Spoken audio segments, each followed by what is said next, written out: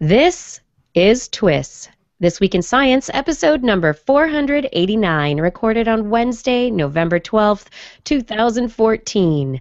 Weekend has comet! Hey everyone, I am Dr. Kiki, and today we are going to fill your head with a little mind controlled mouse implant, a little lander that could, and bat sabotage. But first, Disclaimer, disclaimer, disclaimer. We live in a multilingual world where various beliefs are couched in different languages. And often those languages uh, are different amongst each other. and we live with these people. While often thought to be a modern consideration, like multilingual driver's tests at the Department of Motor Vehicles, for instance, there was another time when the wisdom of inclusion was put into action 2,200 years ago, King Ptolemy had a kingly declaration to make to his subjects. Because he wanted as many people to understand his demands, he had it carved into a stone, not just in the Egyptian hieroglyphic of the day, but in two other languages as well. At the time of its 1799 French discovery in the city of Rosetta, we knew nothing of how to transcribe the strange hieroglyphs of ancient Egypt but we knew well the third engraved language, ancient Greek. And with this discovery, an entire branch of academic study was unleashed. The history of an ancient nation, the beginning of civilization, became known to us for the first time. It is just this sort of Rosetta Stone we hope to bring you each week as we seek out the science news stories that usher in new waves of inquiry and new insights into past dilemmas here on This Week in Science. Coming up next.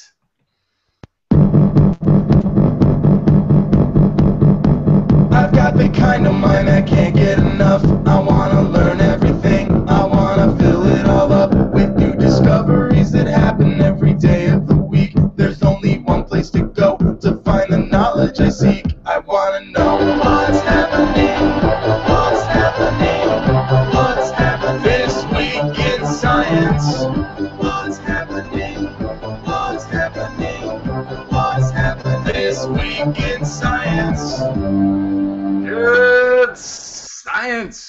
Kirsten and Blair.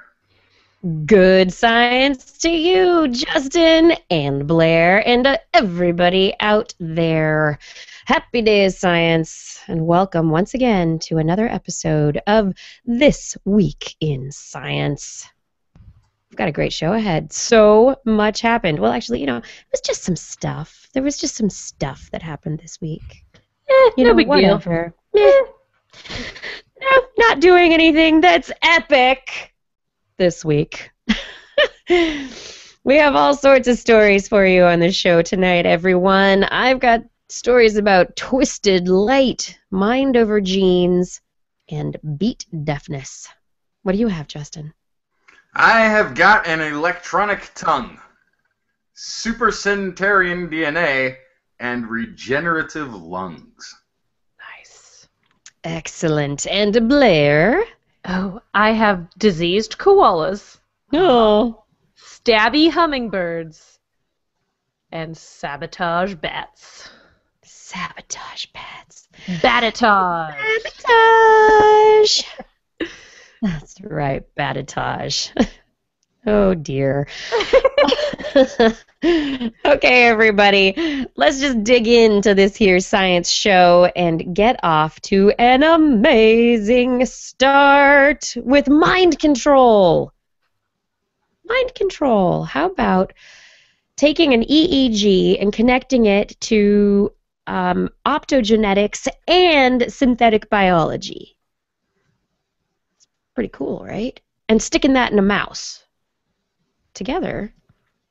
It's pretty cool, and that's what some researchers did from uh, from Switzerland and France. A group of researchers published a paper in Nature Communications this week, in which they described a system where they took kind of an over-the-counter consumer EEG reading headset attached to Bluetooth, so it was transmitting via Bluetooth, no wires.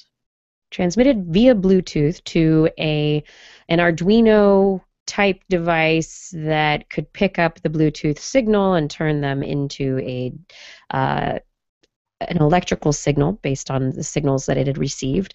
That then went to a magnetic field generator on which was placed a mouse cage. The mouse had a device implanted under the skin behind the back of its neck that had a little magnetic field reading coil.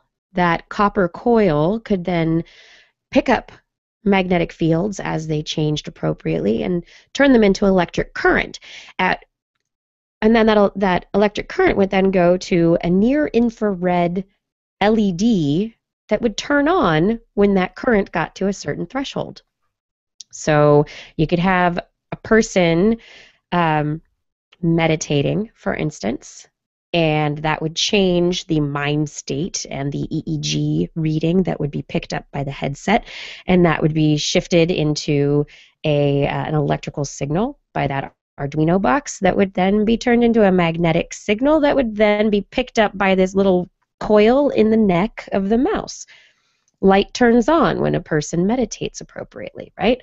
What does that little near infrared light LED do? Well, it is illuminating a little culture chamber, chamber full of genetically modified cells that have been modified using synthetic biology to be turned on by G coupled protein signaling cascades by a near infrared light. So the light turns on, it starts a signaling ca- cascade in these cells in the chamber of this device that's implanted under the skin in the back of the neck of this mouse. And the cells produce a protein.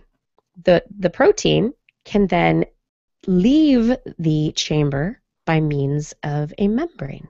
The cells can't leave, so the cells don't end up in the body of the mouse, but the protein does.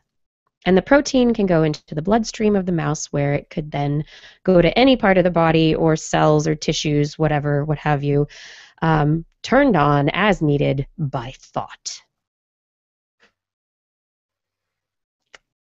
Kind of crazy, huh? That's pretty far out. Pretty far out. So there's there are people who are saying, ah, it's gimmicky. It is gimmicky. It's totally gimmicky. It's like, yay, we hooked up an EEG to something else. Another device. That's great. But what's interesting here is that they've hooked it up to an optogenetic system in which we have cells that are um, that are designed specifically to create a particular protein.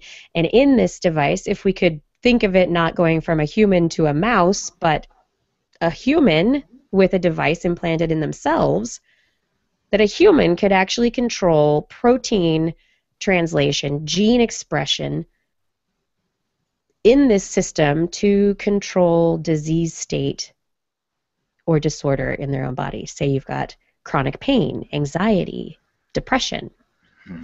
So that that was going to be my question was you could use this on yourself. You yeah, that's the end goal. That is not what they have demonstrated, but that mm-hmm. is the end goal. So Yeah. I'm going to go meditate and take care of my cancer. That's right. Meditate Exactly. away the cancer, guys. See you later. Yeah, or maybe because it's optogenetics and the way that this works, in the you can actually see the light. It's visible light. Um, you can see it underneath. Turn the light turn on and turn off, or maybe you've got some kind of biofeedback. So you like sit and look. You have it implanted in your wrist or whatever or wherever it is, and you go, okay, I got to think about turning the light on. You think about turning the light on. When the light turns on, you're like, yeah, I got the light turned on. And you're like, maybe you have to have a certain amount of time of quote unquote drug delivery, but really it's just protein creation within your body. So you're like, okay, I'm going to turn the light on for five minutes. You got to sit there and turn the light on. And, yeah, I'm done. Take the headset off, and there you go.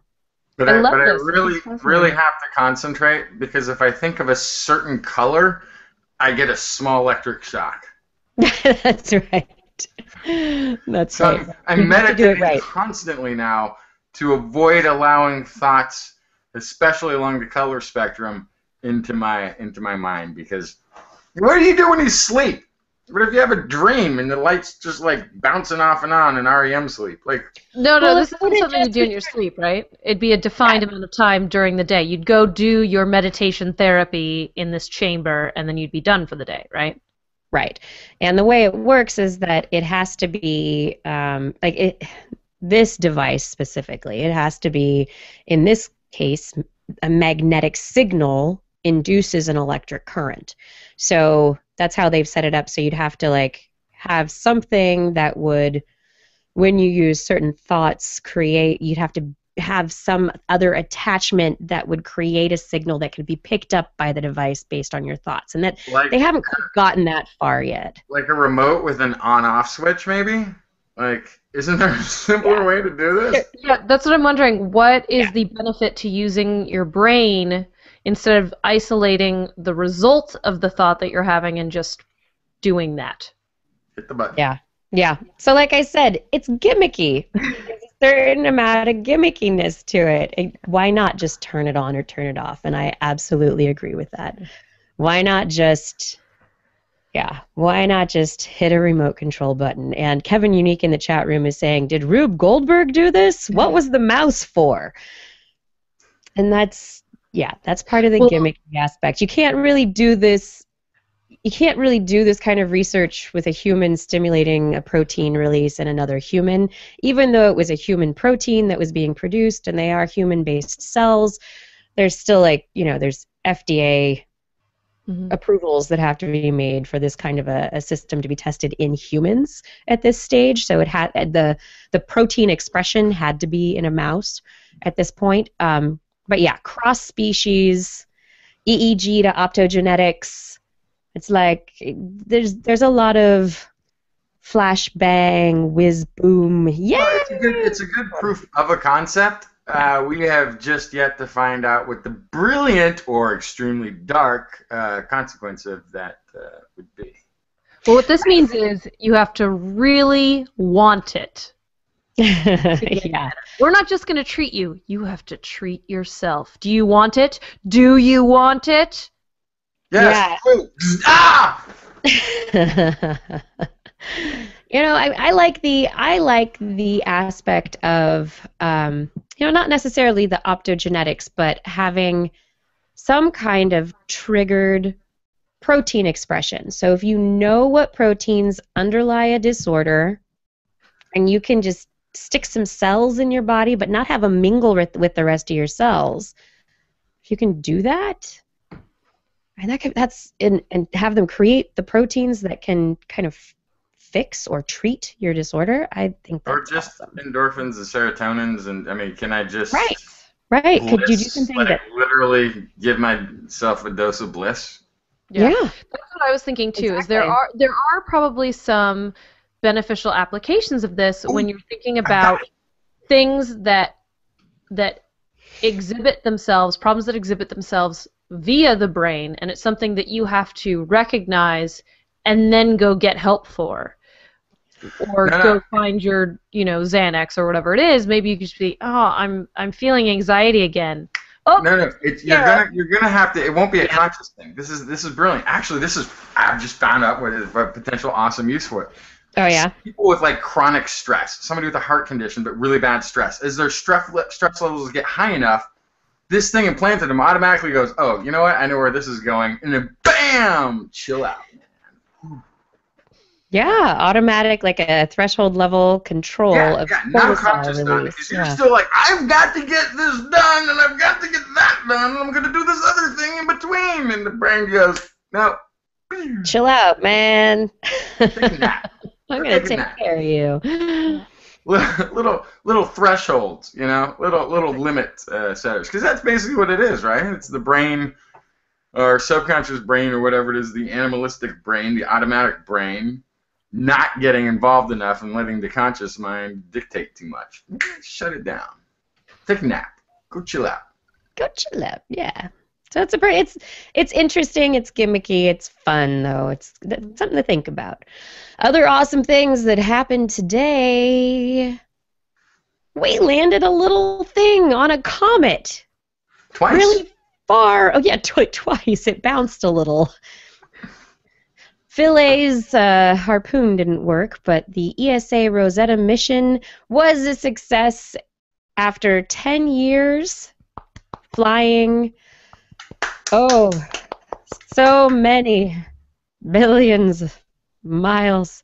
It's really not. That's only a. It's only about what 500 million kilometers from Earth at the moment, but it traveled much much farther, uh, more around six billion kilometers to get to the comet known as 67P Churyumov Gerasimenko. Now, this comet, uh, the Rosetta mission has been taking pictures of it as it's gotten closer and closer. So we learned that the comet was not just spherical; it has like a neck, like, and people have described it as looking like a duck. Um, but now, Philae, we officially learned this morning, which was launched from the Rosetta craft, hit its target. It went where it was supposed to go. It bounced a little, and then it dug in with its anchor screws and so we are awaiting more information. We know pictures, we have pictures from the landing, just a couple of very simple pictures of what looks to be rock, lots of rock. Um, and now the science starts. Sometime within the next 12 hours, we should be getting news from the European Space Agency about the first scientific results and a whole bunch of pictures back. And I can't wait to actually find out more about this comet, as comets are thought to have brought so much mm-hmm. to our own planet. So, can you tell me, for for uh, the listener that may have forgotten, um, what the difference between a comet and a meteor is? Where they come from, comets usually have a much longer uh, orbit. Um, so there are the meteors that come from the asteroid belt, mm-hmm. which is uh, between Earth and Mars, past Mars. Total, I'm getting that totally wrong. But the asteroid belt, that's where meteors come from. And the Oort cloud and outward of that are where things like comets are from. And comets are thought to be much more icy um, normally, they come close to the sun and they heat up, and you can we see the long tail of the comet, like Halley's comet and others, um, as they release water and gases as they heat up as they pass closer to the sun. Um, meteors or asteroids do not. And it's asteroids that come in, they're just chunks of rock, and when they break up and they hit our atmosphere, it's they become meteorites and meteors as they um, land on our planet, as they come in close to, as they get through our atmosphere and impact. Nice, sweet. Yeah. So there's water on this comet. Possibly, yeah. That's what we think. That could be awesome. Yeah. And Goldazader is here, and he says, "Meteors enter the atmosphere." Exactly. Meteors enter the atmosphere.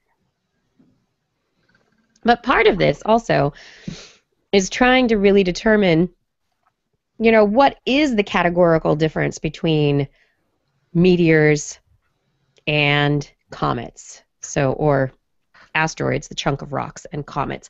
You know, we call them these different names. How different are they? Mm. Well, I think yeah, um, that's gonna be the thing. Is we've we've we've had a decent amount of meteorite, meteor, meteorites on the planet. Yes. To examine. Many of them, the uh, iron core, iron meteorites. originated from asteroids. The you know, in the between Mars and Jupiter region. Yes. So we can kind of have an idea of what's there. The comet is from the outer elements of the solar system, so that's going to give us if it's the same thing, it's the same thing. If it's mm-hmm. very different, it's going to have a lot of open up a lot of questions. Um, if it's if we can somehow suss out more information uh, on the the formation of our solar system from this. Yeah. So, so that's something that preceded it that yes. Philae could figure out too, right? Because we have all of these meteorite samples, so we can compare that to what we're seeing in this comet, and we can kind of see if there are drastic differences, if it's very similar. That would be an interesting thing to see, right? Yeah. Absolutely. It's very and there exciting. are. It is very exciting, and there are many uh, instruments on the Philae uh, little probe. Uh, some of them created by uh, NASA or United States scientists, um, but this is a mostly European endeavor. Although it's huge.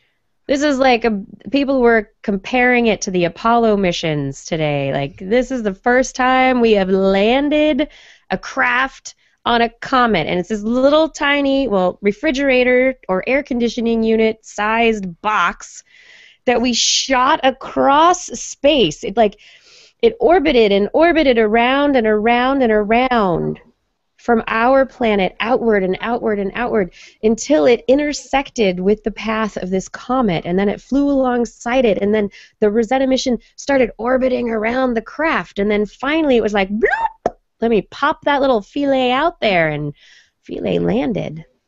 I'd give it I'd, math involved in that. The math is amazing.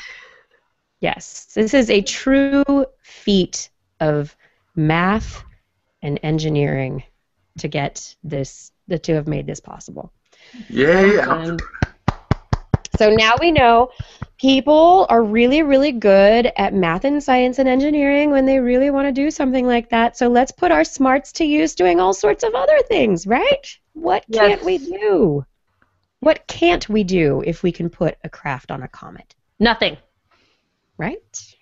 We can do anything we want, anything we put our minds to, people. Alrighty, this is This Week in Science. Justin, what science do you have? Oh my goodness. So um, this is uh, this is interesting. They they decoded the genome of 17 people uh, in order to conduct a study on this group. Very exclusive group of people. There's only 17 of their population on the planet. And yet they, 17. there's only 17 of these people on the planet at the time or excuse me i take that back you're right in the united states Okay. in the united states there's only 17 in the united states worldwide the number is, is possibly a bit higher. Uh, these 17 people in the united states don't share a recent ancestral lineage but yet they are the only 17 people like each other. They are 17 people who are older than 110 years old. And therefore, scientists are very curious, we're very curious, to get into their genes and see what makes them tick so long. The group was actually pretty diverse. Uh, let's see, where's the. It was. I think it was mostly. It was mostly considered white people, which is you know that is yeah. Fifteen were white, whatever that means. Uh, one was black. One was Hispanic. And actually, all of them actually died since the study began. Apparently, so there's. Apparently, this now. study took too long. Yeah, study took too long to give them any results. Uh, what's interesting is they found that this is so terrible. They found really nothing. Uh, they didn't find like a this gene we can point to and say, aha, that's it. You know, some of them they were finding like, oh, they had you know the signature that normally when you do some, somebody's genomic code, you would tell them, hey, you have this potential problem with one of your you know valves in your heart that seems to be associated with this. Apparently made it over 110 with that gene, so you know, no big deal there. They weren't considered. So at first they thought, well, then maybe, maybe it's the the lifestyle. Maybe it is all lifestyle. Maybe it's not just the genes that makes this happen. Uh, but the uh, these people apparently didn't have the healthiest diets. Half of them smoked. Like, Okay. okay, let's go back to the genes. Back to the genes. It's got to be in the genes. It's But question: uh-huh. socioeconomic status and um, availability of health care. Right, right. Um, well, uh, at least for the one African American woman, I don't know what things were like. Uh, I guess she was she got to celebrate her 115th birthday before this study ended. I don't know how much she had in way of healthcare early on, but I bet it weren't good. I bet it weren't very good. I bet it was pretty lousy. Just saying. Just saying. I'm guessing. Right. I'm guessing 115 years ago. I guess I'm guessing 1890s healthcare for anybody really it wasn't that good. I mean, they had actually survived some pretty bad ages of doctoring, regardless Right. of socioeconomic anything. But as they got older, things definitely got better. So, did they have access to the best medicines and doctors from the 1980s on? Or did they have access to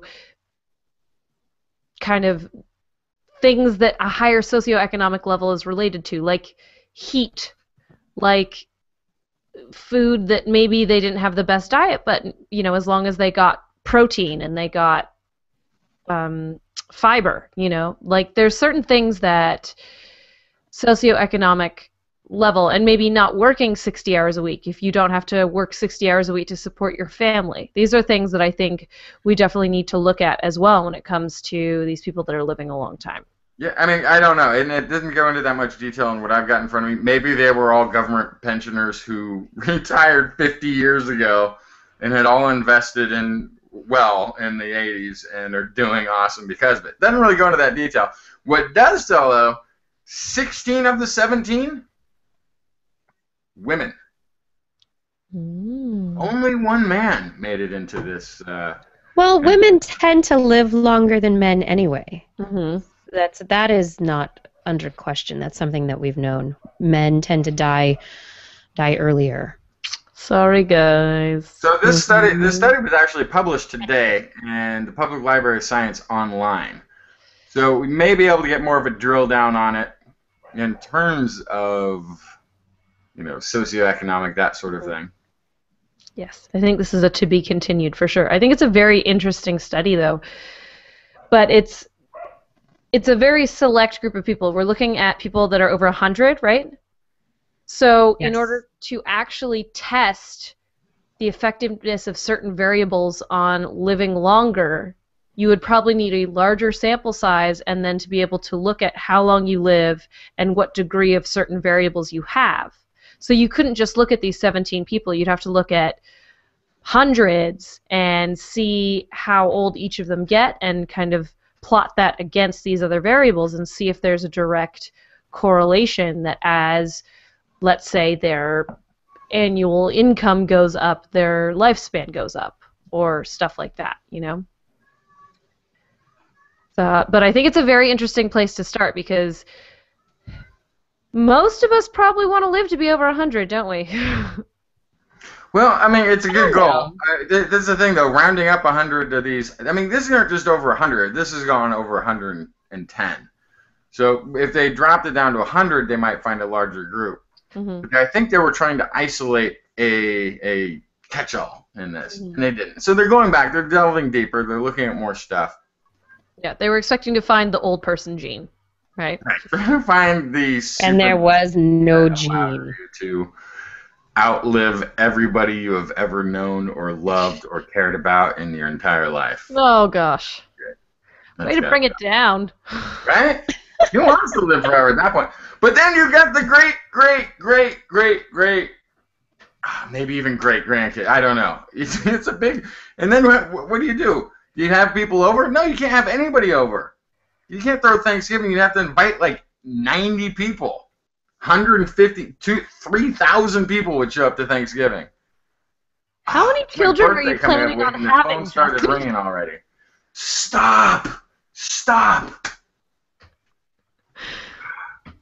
Three thousand happy birthday cards. My postman's gonna sue me. Yeah. But yeah, um, they're, there's no looking at that. I love that they're looking at these people because yeah, everybody wants to know, right? Everybody does want to know. All right. How what can I you- live longer? How can I am am I going to live longer? You know, if I'm having my genome sequenced and looked at by 23andMe, I want to know if my single nucleotide polymorphisms are going to suggest that I'm going to live longer. yeah. How long do I need this retirement plan to last? 20 Right. 50 years, 70 years? How much am I stretching this? Yeah, you try outliving your, your retirement by 30 years. Huh? You want to live? You want to be lived 110? Oh, great. Go for it. Uh, one, uh, another, another story. Uh, an electronic tongue has been uh, put into development. Could one day sample food and drinks as quality check before before they hit store shelves. Which seems ridiculous because don't we always assume that if something tastes bad, it's not because it was shipped bad, but it, because it sat in some warehouse and then Probably got to the store there, and sell, and then now it's stale or something, right? Uh, could also be used to monitor water for pollutants, test blood for signs of disease.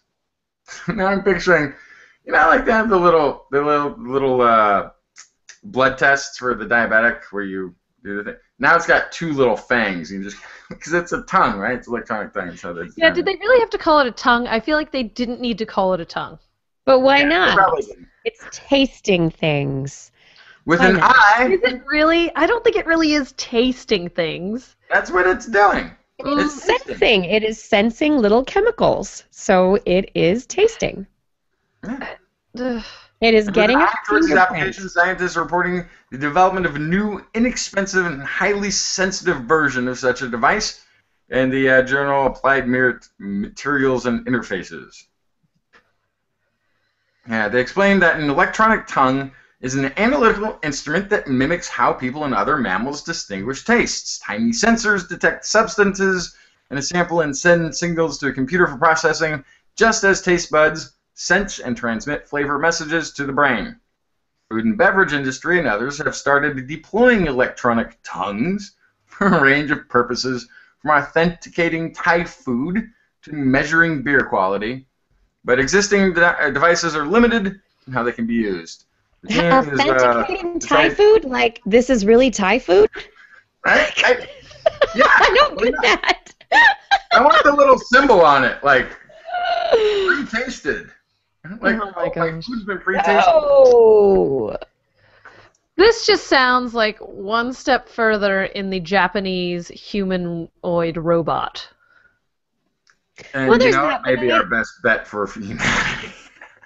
This- There, there is that, but I do the when Justin mentioned being able to monitor wa- water quality, I think that is something that's um, really interesting. I mean, if you have something like this that can be, you know, that's simple and easy to use, that you can um, have installed in the pipes going into your house or uh, coming out of your sinks, so that you know whether or not there are increased levels of heavy metals coming out of the pipes into your water um, or at water treatment facilities they get a better idea of the quality of the water that they're pumping out to the populace. Um, that kind of stuff sounds sounds amazing. Um, but yeah, when you're talking about being to, able to to discriminate alcohol, cognac versus brandy versus water versus wine versus beer, you know, then you're then you're getting at a kind of like a a robot kind of thing. well, well, yeah, then it's a toy. But if it can determine what kind of fish it is by the taste of it, Yeah, because that's a huge like in a problem in su- sushi restaurants is the the fish mislabel or in, vendors. and and your grocery stores mislabeling of fish is an epidemic at this point. And then you can see, oh no, this isn't. Maybe it's yeah. Let me taste the tuna with electric thing. Oh, it's not the albacore Pacific Northwest tuna that is safe, as the can states, but it's some It's bluefin. East Coast tuna. That's not the one you're supposed to be getting right now. Like it Yeah. could. Well, I, this I mean, the highest and best use is a home FDA, because we know we don't send agents out there to do this stuff anymore.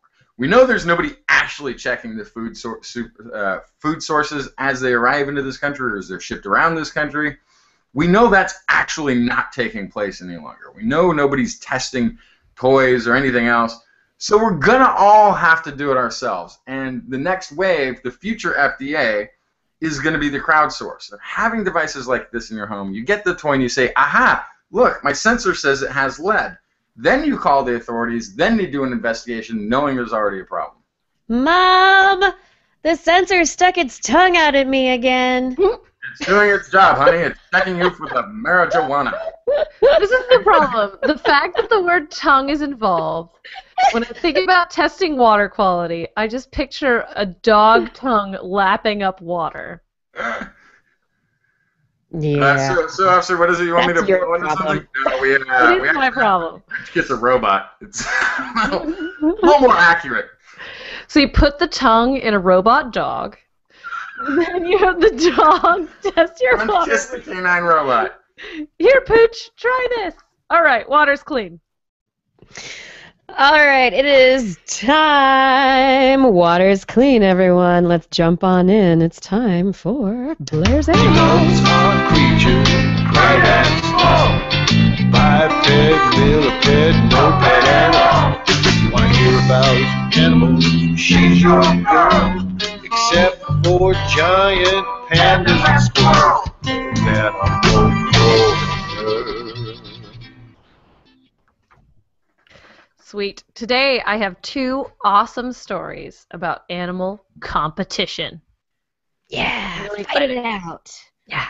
First one cute, adorable hummingbirds. Oh, they're so delicate. Their little hearts just pitter patter so fast. And they have to use these delicate, long, skinny beaks that are basically made out of glass. You just touch them, they break. So they can get the I nectar out Lies, of the flower. tell Why are you telling so many lies, Blair? It's lies, Blair. Lies, Well- I tell ya. This is the common conception on hummingbirds. This is what most people think about when they see hummingbirds. They see these delicate little, teeny tiny, precious things. Well, they're stabbing machines. Think needles. Male hummingbirds, it turns out they use their beaks when they fight with each other to stab opponents' throats. Wow. We didn't know this already? I thought we knew this already. Have you seen male hummingbirds chase each other around during spring breeding season? I mean, I've watched these birds, but they're like little fighter jets and they attack each other. And they do we didn't they stab each other in the necks. We didn't know that they were stabby. Wow. So, new research has shown that the beaks not only are used for getting nectar out of these long, skinny flowers, but they're also those dagger like weapons. And this is, in fact, the first evidence of male hummingbirds using their bills as weapons. So, this is kind of changing the way that we think about the evolution of these bird beaks. Everyone thought that they developed these long, skinny beaks to reach the nectar in these long, skinny, bell like flowers. But now they're thinking it's possible that the long beaks came first and then the flowers adapted to be better suited to feed the hummingbirds. Wow. That's interesting. Yeah, wild. So it's just Yeah. a speculation at this point. We don't have any proof of that, but it's something that they definitely could see being a part of that. So when we look at other bird beaks, we see lots of situations where birds' beaks serve as a tool for acquiring food, like in the finches that Darwin was famous for in the Galapagos. We also see a lot of birds with beaks that are used for display show dominance, show age, show pretty colors to impress the females. This is one of the few cases where it looks like they've adapted long, sharp bills for stabbing each other, for sexual selection, basically. So they they were looking at the long-billed hermit, which is a tropical hummingbird from Costa Rica, and they're interesting because these guys have a mating ritual called a lek, L-E-K, which is where all of the males hang out together and they all make displays for the females. And so then the females hang out kind of around the outside and they go, I want that one. and so the males jockey for good position as well. And so it turns out they'll actually fight for the best position in this lek. And once that female is in their territory, the male then courts with elaborate displays and songs. But so the territory is very influential on how successful the male is in a mating instance or season. And so uh, before this, they thought that the males and females have different bill shapes because they fed on different flowers, which is true. The males eat from different flowers than the females. But now it's looking like that's actually a result of their different beaks and not the cause. That's fascinating. Mm-hmm. Yeah. That's absolutely fascinating. I just I wonder though how they're going to really differentiate between the two hypotheses because that at this point is, you know, figuring out at what point which begat which. Right. Really hard to tell. I think Yeah. the one of the only ways that you could see that is to look at the genomes, see what they're related to, see how far back the difference is, and see, okay, so this common ancestor to this bell-shaped flower also had a bell shape. The common ancestor to this hummingbird didn't have this long pointy beak. That would mean the hummingbird developed the beak for the flower.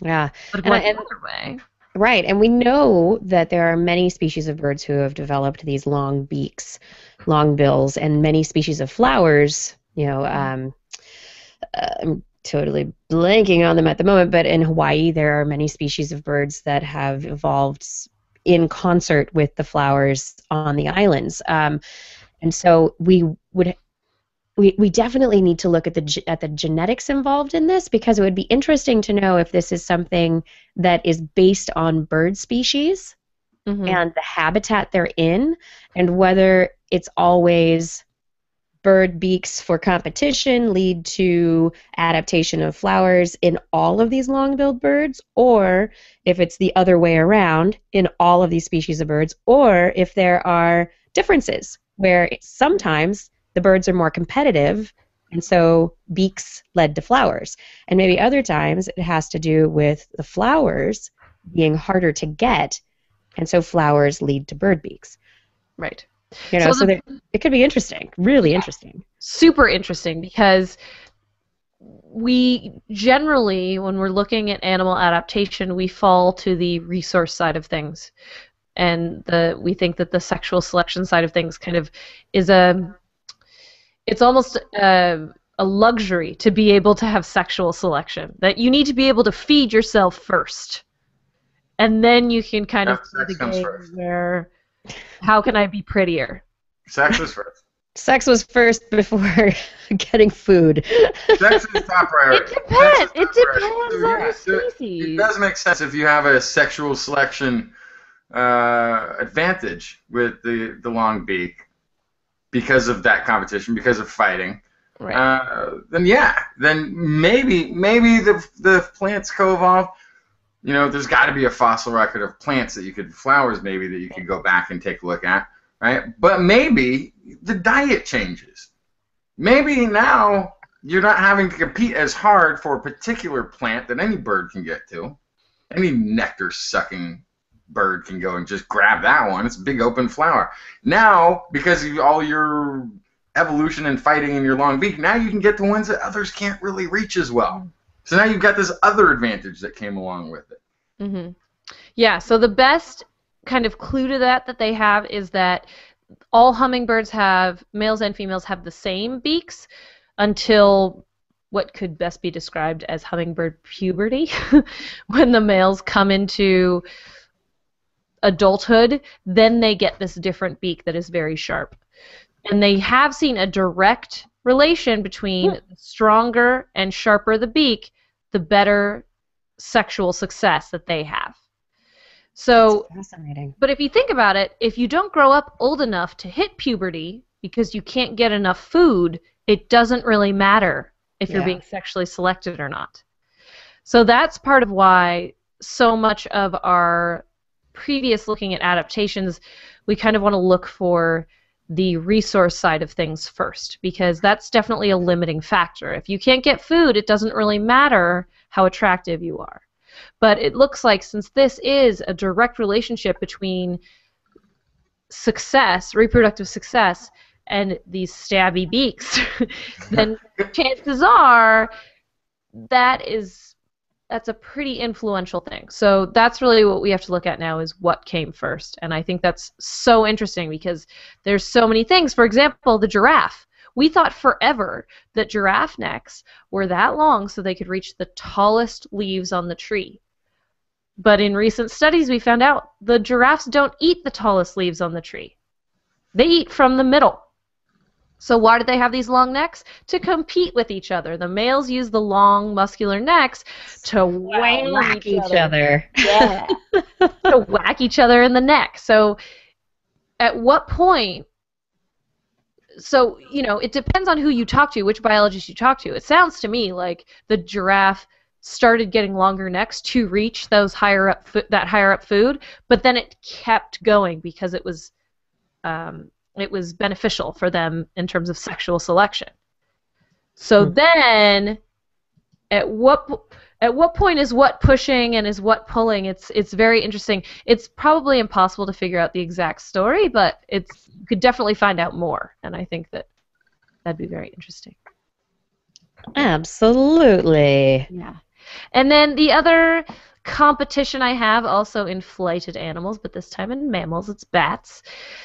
Bats, this is wild. They jam each other's sonar. Sonar jamming. Yeah. So previously, That's awesome.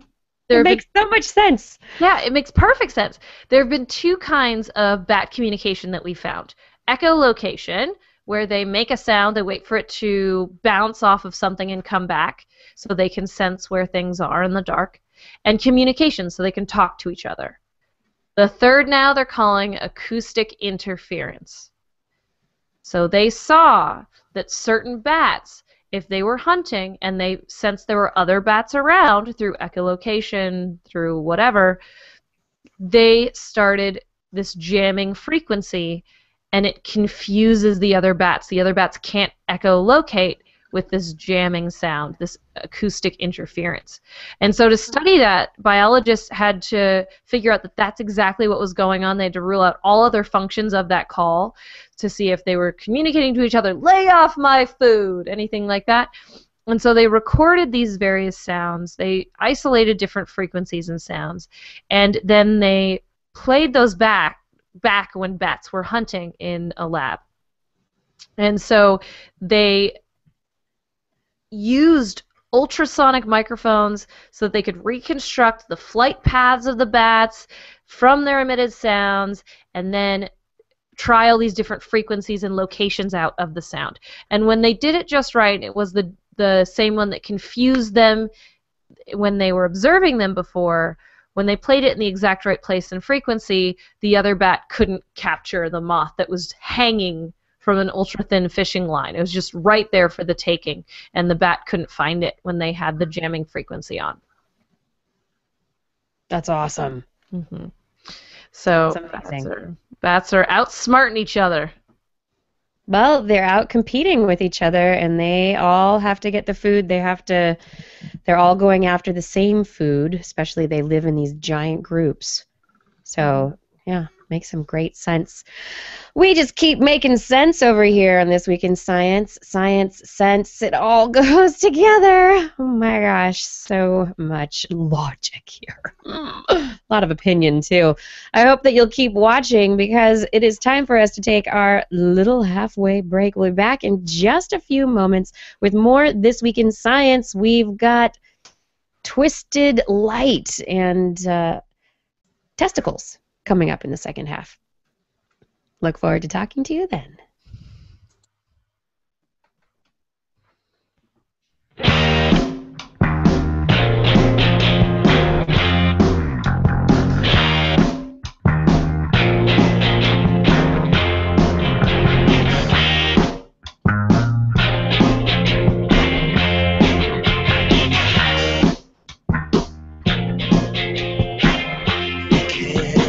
The things you heard with more than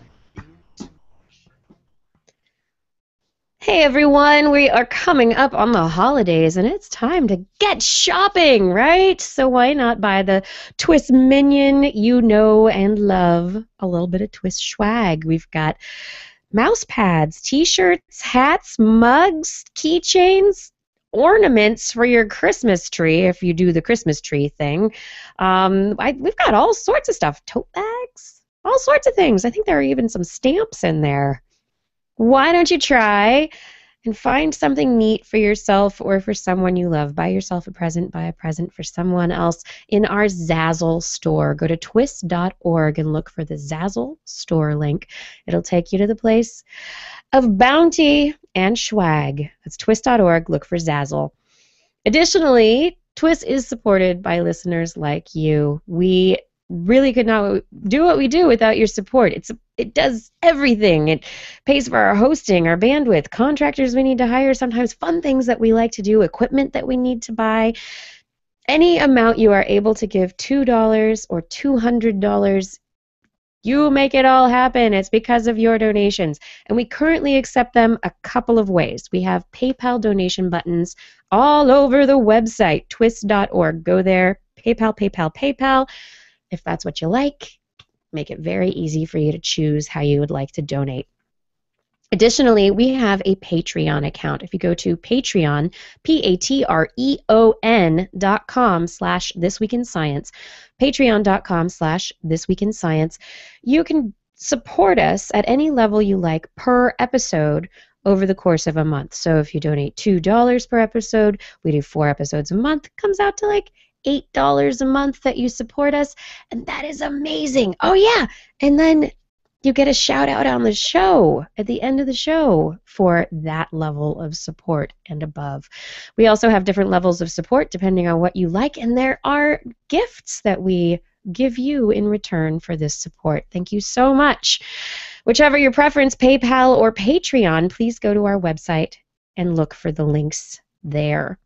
If you cannot afford a donation, we know that the holidays are coming and this is an expensive time of year for many. We can, we can use your support in all sorts of ways. Maybe just getting the word out about TWIS. We want more YouTube sus- subscribers. Can you help us get more YouTube subscribers? Also, we want more people subscribing to our podcast, the RSS feed that we put out there. Can you help us do that? Do you know a friend who needs a new podcast on their device? Tell them about TWIS. That's how it's done. That's how you can help us out. And we really could not do this without your support. We thank you so much for your support.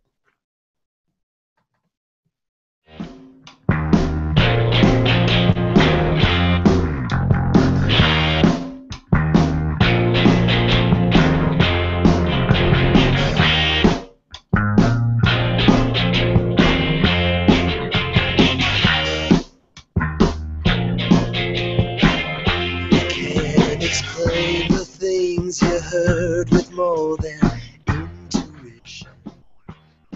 And we are back with more This Week in Science. Oh, yeah. Justin, do you have another story?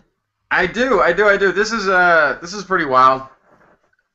Research team led by Jackson Laboratory Professor uh, Frank McCohen, McEwen, McKeon, excuse me, and Wa Xian report on the role of a certain lung stem cell in regenerating lungs damaged by disease. Works published November 12th, journal Nature, sheds light on the inner workings of the still emerging concept of lung regeneration and points to potential therapeutic strategies that harness these lung stem cells. The idea that this is my uh, quotey voice, by the way. The idea that the lung can regenerate has been slow to take hold in the biomedical research community, McKeon says, in part because of the steady decline that it is seen in patients with severe lung diseases like chronic obstructive pulmonary disease and pulmonary fibrosis. So, part of what he's saying is that people die quickly from lung disease, so it's been really hard to show lung regeneration in them. Right? Uh, nevertheless, he notes there are examples in humans that point to the existence of a robust system for lung regeneration. Some survivors of acute respiratory distress syndrome, or ARDS, for example, are able to recover near normal lung function following significant destruction of lung tissue. So, perhaps not uh, the thing that needs to be applied when somebody is going down from a, a lung disease but is recovering, has survived a, a lung damaging, distressful situation. Uh, mice appear to share the capacity. Mice infected with the H1N1 influenza virus show progressive inflammation in the lung, followed by outright loss of important lung cell types. Yet, over several weeks, the lungs recover, revealing no signs of the previous lung injury. Using this mouse model system, McKeon and his colleagues had previously identified a type of adult lung stem cell in the distal airways. When grown in culture, these lung stem cells formed uh, alveolar-like structures. I'm looking for Kiki for the predict. You got it right, alveolar. Alveolar, I did it. That was right. Okay. Right. Uh, I myself for on the fly, sciencey translating. So similar to the alve- uh, similar to the alveoli found within the lung. Following infection with the H1N1, these same cells migrated to sites of inflammation in the lung and assembled into pod-like structures that resembled alveoli, both visually and molecularly.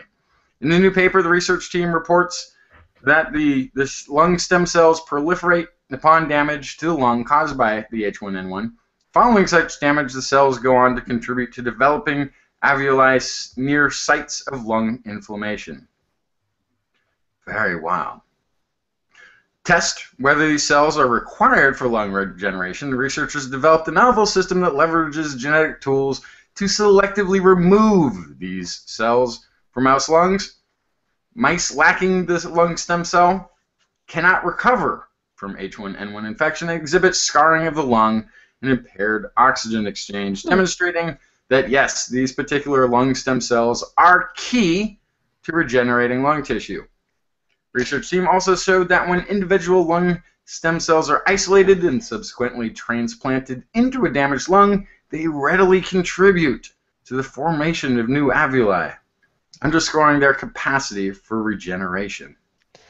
Yeah, so what's interesting to me is that there's a certain point. So, with chronic obstructive pulmonary disease and other um, diseases that are de- uh, destructive over time, where it just keeps getting worse and worse, um, what we're probably seeing is that these stem cells themselves, the tissue that these stem cells come from, these cells where they can actually start regenerating and rebuilding tissue, that that has probably been damaged. And so you're probably looking at situations where people have them, have the stem cells, have this cell type to be able to repair damage to the lungs, or it has been destroyed.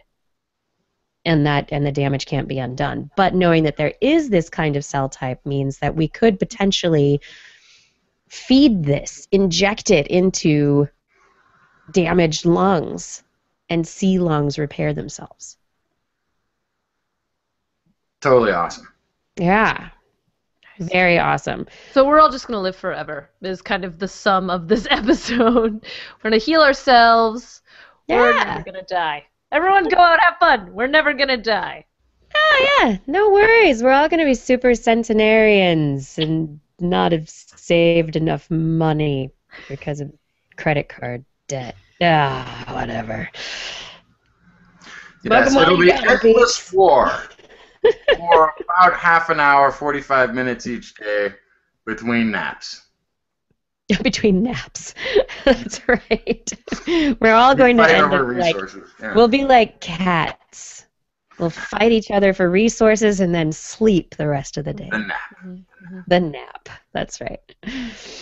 Oh my goodness. Uh Twisted Light. It's not like Twisted Sister. It's actually Twisted Light. And this light um, is, was described in a study in the Institute of Physics and German Physical Society's new Journal of Physics this week. Uh, the twisting is known as orbital angular momentum.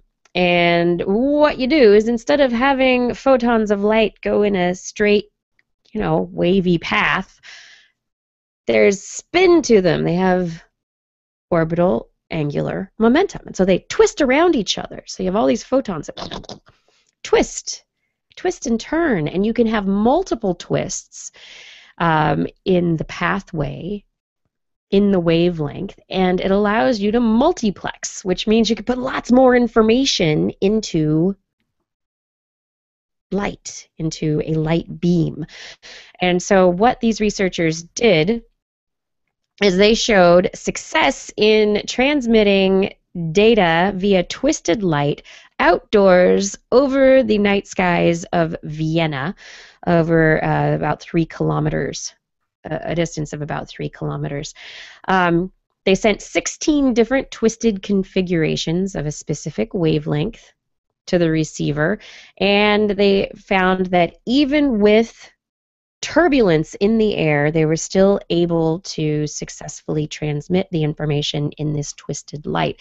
And so this is um, this is what's really interesting is that optical fibers don't always work. So we've got stuff like Earth to satellite, or even spacecraft to moon or Mars to whatever. Sometimes you just have to get information places and you need to use light to get it there.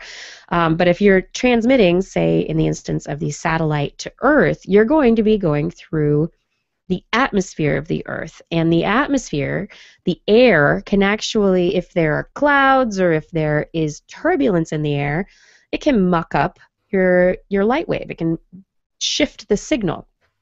And so, uh, using a green laser beam, they showed that it indeed was possible, and um, it could be potential if if they can get this kind of thing working well over longer distances. Uh, this could be very potentially very big for quantum communications because you can uh, photo you can entangle photons of light in such a way that uh, the communications become encrypted where if people uh, grab the or in, encounter the light beam and try and figure out what's in it by reading the photons they actually destroy the secret key that keeps it encrypted if they don't have the right way to read it.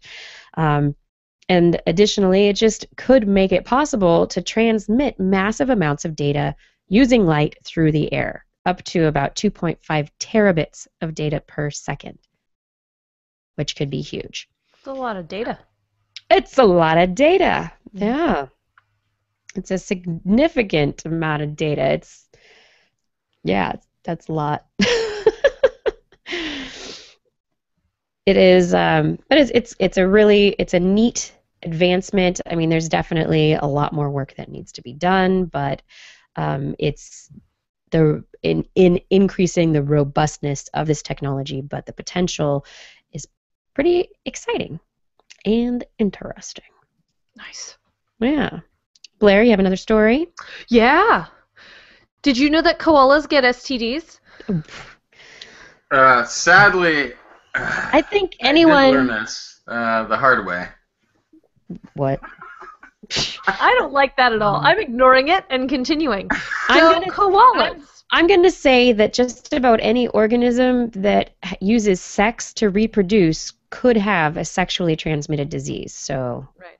Which I do remember when I when I first started on TWIS, we had a whole debate in the chat room about if other beings could get STDs. And yeah, if if you if you combine genes with an with another organism, chances are you can get a disease from them.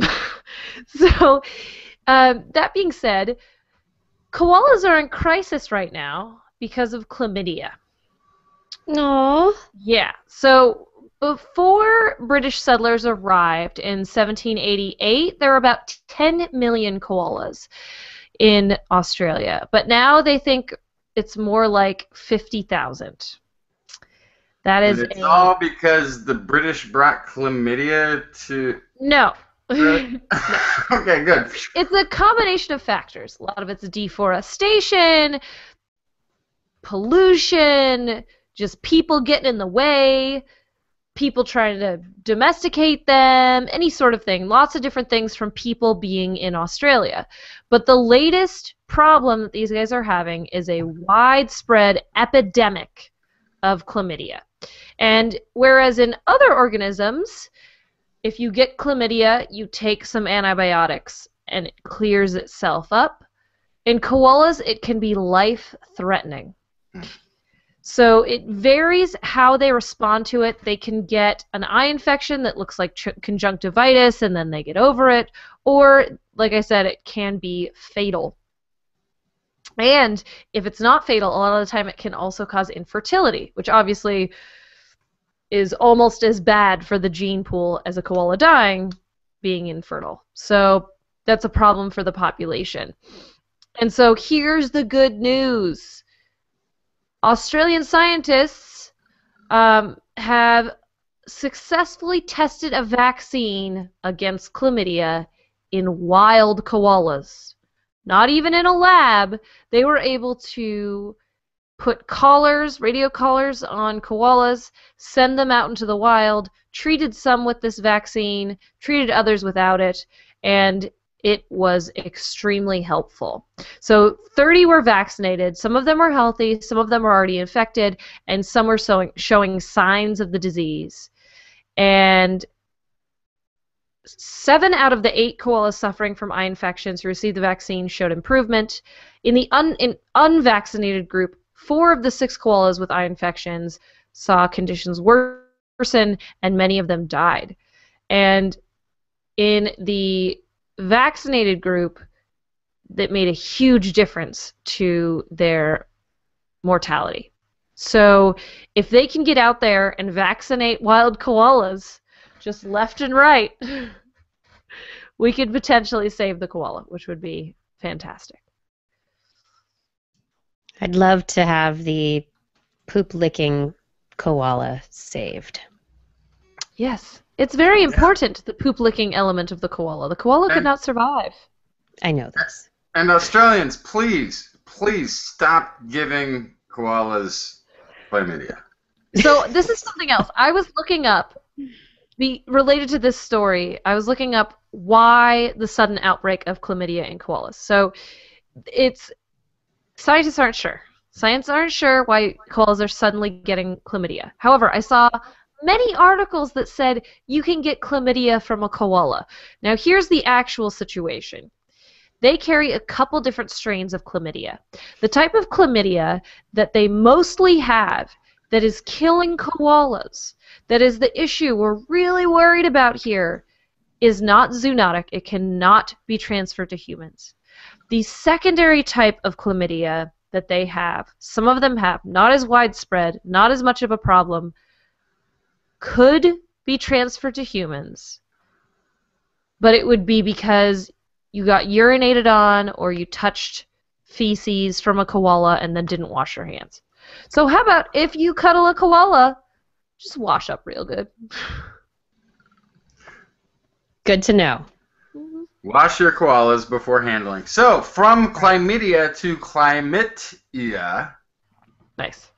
A uh, deal has been struck between China and the United States. Uh, we have agreed to reduce emissions by 16% by the year 2025.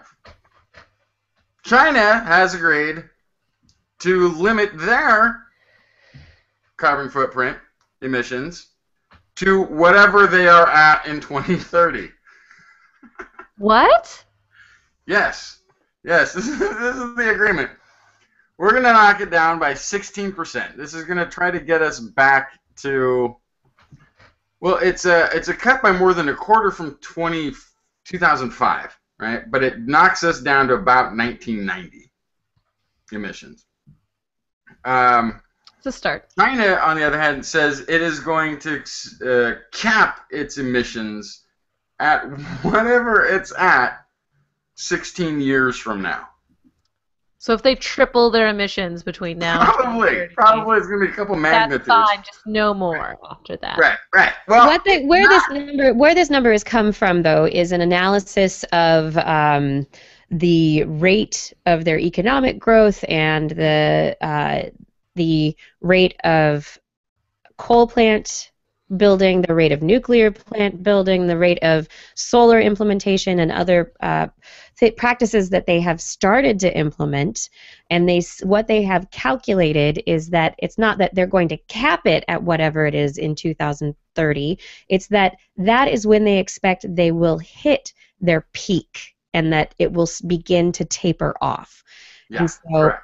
there is a balance here that's being met between the this emerging superpowers economic needs as it's trying to grow and also um, the energy needs of the country Right, and, and China is a world leader actually in green energy. I mean, they have an exploding economy. They have a very large population that's going to want more and more and more use and access to uh, energy, and and they have been they have the what would you say perhaps the least secure energy sources globally.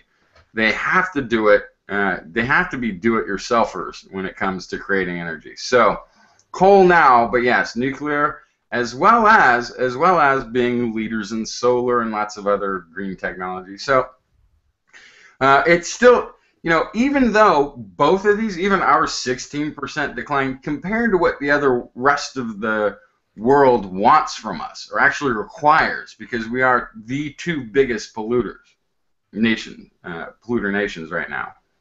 Um, any agreement is better than no agreement and ignoring the issue on one hand. absolutely Uh, you know, so it's a good thing that an accord has been met to do something about it, uh, but it may not be enough. The rest of the world combined can't do enough to make up the difference of what we still need to do.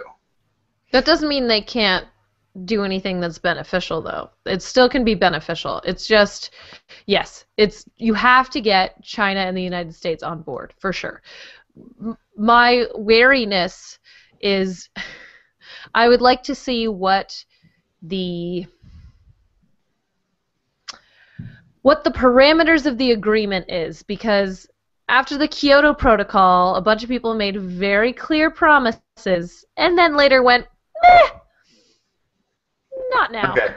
It is, it is very and this agreement it is uh, it is very specifically laid out in detail that the entire thing is symbolic.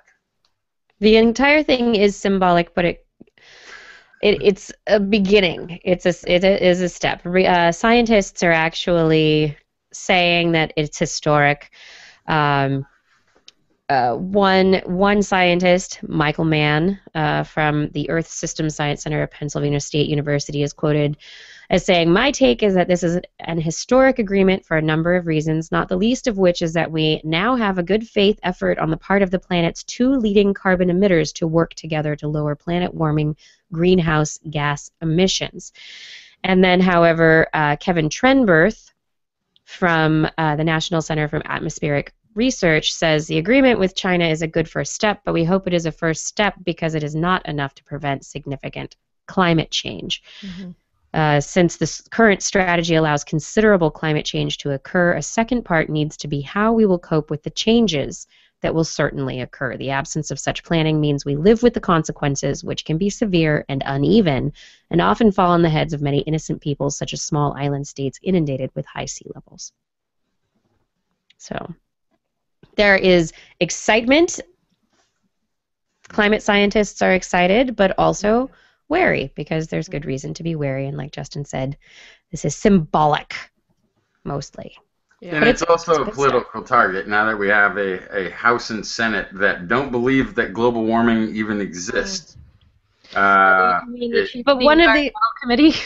But one of the arguments that has been made repeatedly uh, by by politicians who are against any regulation or any uh, any uh, carbon emission regulation of any every any kind um, is that why do we, the United States, have to make any concessions if places like China are continuing to pollute and not making any concessions either? And so now what we're seeing is that nobody's really made any concessions yet because i mean obama said yeah we're going to reduce our output even more than we said we would but he, it- somehow it's not going to include any epa involvement for regulating carbon emissions at power plants don't know how that's going to happen um, and and then additionally, you know, China's got this 2030 peak thing that we don't know what the peak is exactly going to be. So it's symbolic. No real concessions have been made.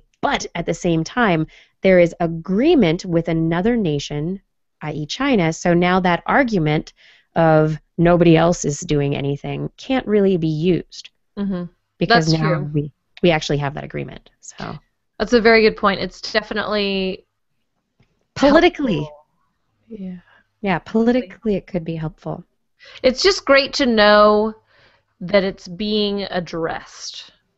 Whether or not it will be solved, the fact that it's being addressed means we're not shouting at a brick wall, right? Who's not? I will. You know, there's it's a brick wall, but there's a couple of the bricks missing, and someone's kind of sort of listening on the other side, so it's not as bad as we thought, I suppose. yeah. Uh, testicles. Testicles are a rich source of protein diversity. Who knew? I have been trying to tell. Oh boy. So the Human Protein Atlas is out. It's a tissue-based map of the human proteome. And guess what? The testicles lead the pack. So the human genome was mapped 10 years ago, and so since then, researchers have been working to see what not just genome is there, but the proteome. What proteins exist and are are translated, are created in specific tissues of the body. They used 48 normal and 20 cancer based tissues of close to 300 Swedes. And they extracted them from different human organs and then stained them with a bunch of antibodies and got over 10 million images of the tissues to study. Uh, they have 3,000 more proteins left to map, but so far it is yielding results such as uh, the result 2,355 of our proteins are expressed only in very specific organs. And the testes produce the most unique proteins.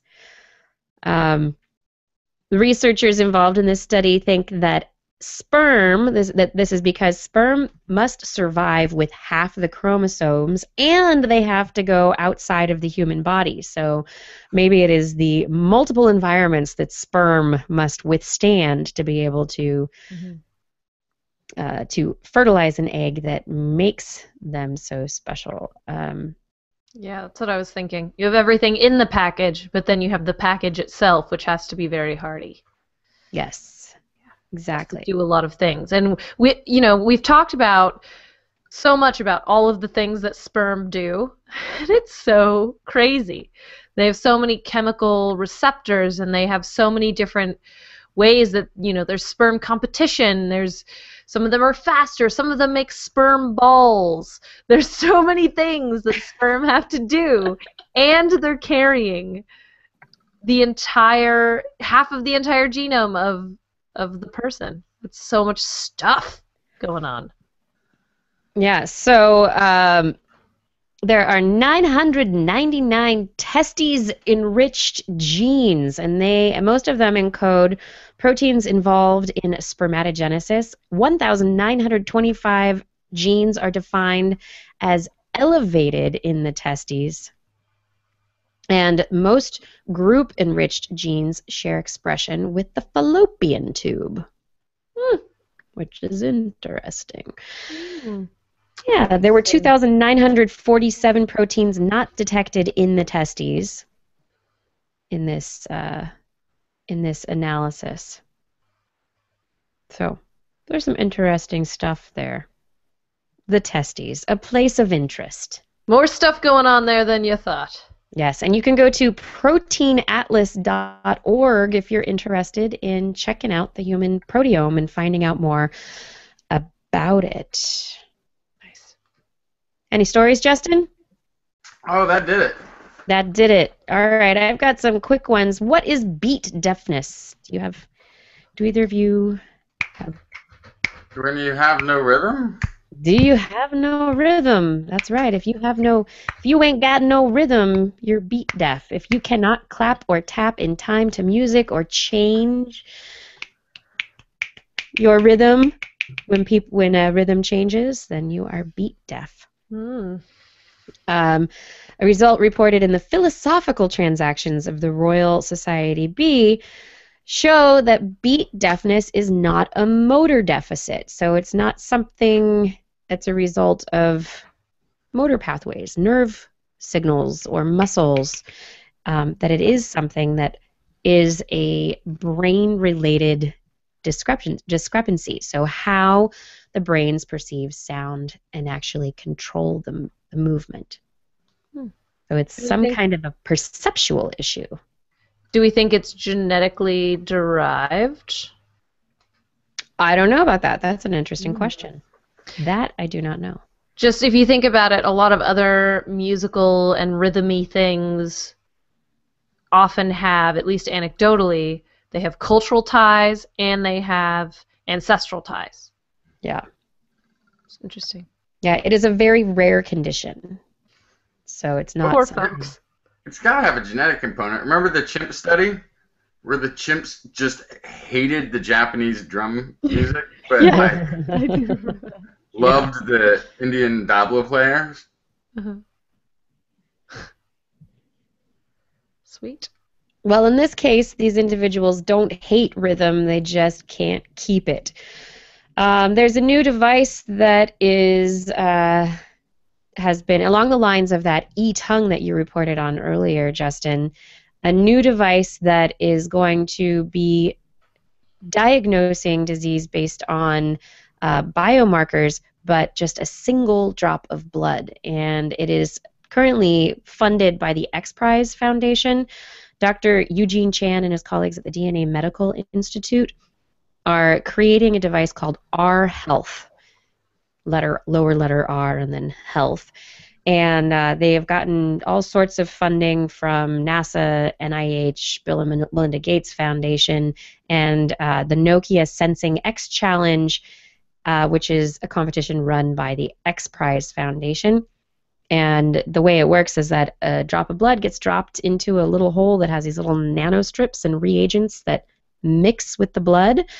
And then it goes through a mixer and then past these lasers that read variation in light intensity and scattering. And then they can make a diagnosis based on the components of the blood for all sorts of things. They are looking to create a device, uh, three different devices. One that will be available to researchers and will be the first model that will be um, heading out into the world.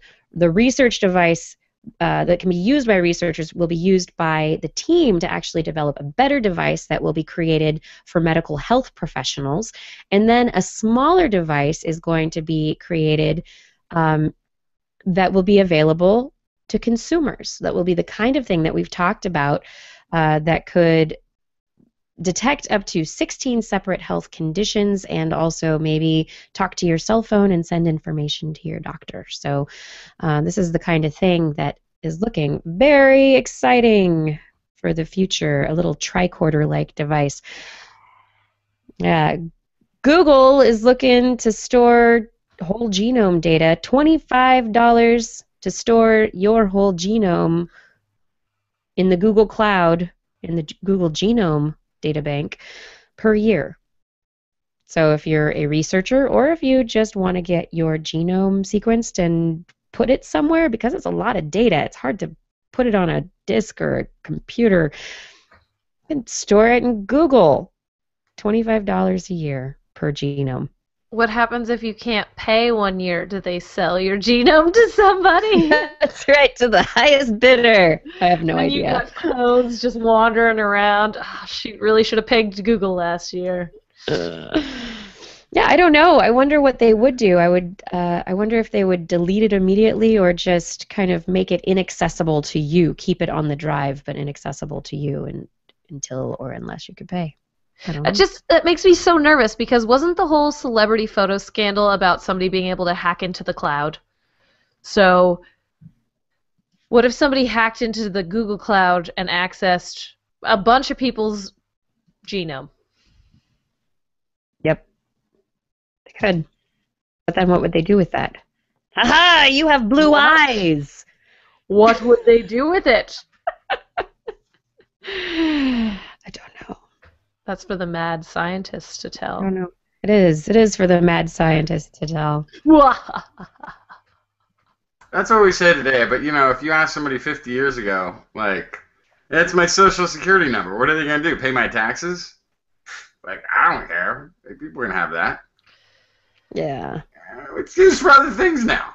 Well, Yeah. it was like that study where they took swabs from a banister and were able to reconstruct the person's face. That was weird, but I don't know how accurate ish. It wasn't completely accurate. It wasn't. was It was close. It was close. Ish.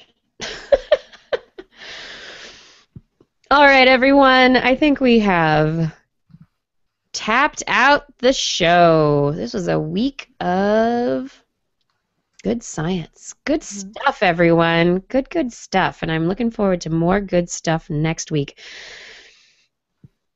I want to take a moment to thank all the people out there who are supporting us on Patreon. Thank you so much for your support. We really could not do this without you. Kevin, Kevin Donald, Wesley Ballard, Paul D. Disney, Sam Winsier, John Ratnaswamy, Rudy Garcia, Steve DeBell, Stephen B., Jason Dozier, Matt Lit- Matthew Litwin, Eric Knapp, Andreas Akestad, Jason Roberts, Patrick Cohn, Shannon Tara Ginsburg, Brian Byron Lee, E.O., Bob Calder, Jared Lysette, Ulysses Adkins. Jake Jones, Brian Hedrick, Cassie Lester, Chris Cross, Sarah Chavez, Stephen Sorowiec, Sorowiec, Layla, Paul Stanton, Marshall Clark, Charlene Davidson Henry, Dom Komarechka, Randy Mazuka, Ed Dyer, Tony Steele, Lord Trentonian Moody, Larry Garcia, Daryl Lambert, Brian Condren, Richard Bowersox, Kevin Parachan, Dave Major, Brian Rossman, D- James Dobson, Steve Goodwin, Kurt Stefan, Michael George, Craig Landon, Russell Jensen, Mountain Sloth, Jim Drapeau, Darren Lute, Tara Payne, Alex Wilson, John H. Maloney, Jason Olds, Gordon Grant, James Paul West, Lauren Lang, Ed Bennett, Thomas Mikinen, Alec Doty, Illuma Lama, Nick Gradwell, Dan Rambo, Dougal Campbell, TMRO, Miko Pakala, Craig Porter, Adam Mishkan, Aaron Luthan, Marjorie, Scott Lajewski, Tyler Harrison, Ben Rothig, Columbo Ahmed, and Gary Swinsberg.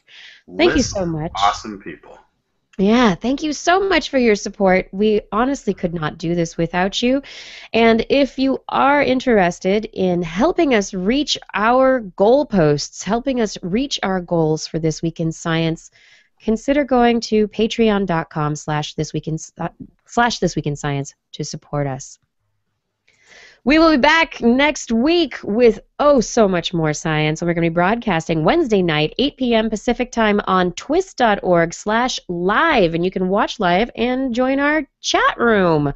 But if you can't make it, don't worry because we have the video up on YouTube on our YouTube channel, youtube.com slash this week in science, or twis.org for our RSS feed. You can find us in iTunes for the I guess somebody else is gonna say that, but the uh the podcast, the audio stuff. It's on twis.org. Tell a friend about TWIS, please. Help us out. And don't forget to check out our Patreon page, patreon.com this week slash this week in science. Thank you everybody for enjoying the show. TWIS is also available as the podcast. Just Google This Week in Science in your iTunes directory. Or if you have a mobile device, you can look for TWIS for Droid in the Android marketplace or simply TWIS in the Apple marketplace, unless you're using the new podcast app for the iPhone, in which you have to look for This Week in Science. That's right. For more information on anything you've heard here today, show notes will be available on our website. What is it? It's www.twis.org. That's T W I S dot O R G. There you can almost also make comments and start conversations with the hosts and other listeners. Or you can hit us up directly. Contact uh, Kirsten at Kirsten at thisweekinscience.com, Justin at twistminion at gmail.com, or Blair at blairbaz at twis.org. Just be sure to put TWIS, T-W-I-S, somewhere in the subject line, or your email will be spam filtered into oblivion. You can also hit us up on the Twitter, where we are at TWIScience, at Dr. Kiki, at Jackson Fly, and at Blair's Menagerie. We love your feedback. If there is a topic you would like us to cover or address, a suggestion for an interview, a haiku that comes to you in the night, please let us know. We'll be back here next week, and we hope you'll join us again for some more great science news. And if you've learned anything from today's show, remember. It's all in your head.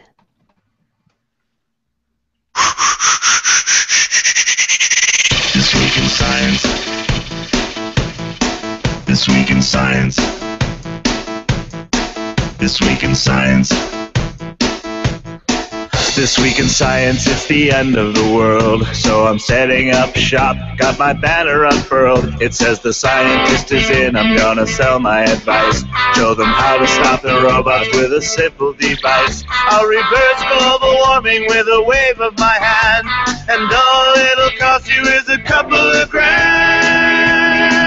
'Cause this week's science is coming your way. So everybody listen to what I say. I use the scientific method for all that it's worth. And I'll broadcast my opinion all over the earth. Cause it's this week in science. This week in science. This week in science. Science. Science. science. This week in science. This week in science. This week in science. Science. Science. Science. I've got one disclaimer and it shouldn't be news. That what I say may not represent your views, but I've done the calculations and I've got a plan. If you listen to the science, you may just better understand that we're not trying to threaten your philosophy. We're just trying to save the world from jeopardy. Jeopardy, jeopardy. And this week in science is coming your way. So everybody listen to everything we say, and if you use our method instead of rolling a die. We may rid the world of toxoplasma gondii. Aye, aye, aye, aye, aye, aye, aye. Cause it's this week in science. This week in science. This week in science. Science. Science. Science. science. This week in science. This week in science. This week in science. Science. Science. science.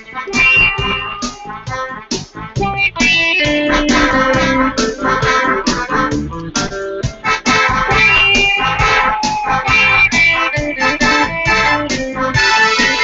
got a laundry list of items I want to address.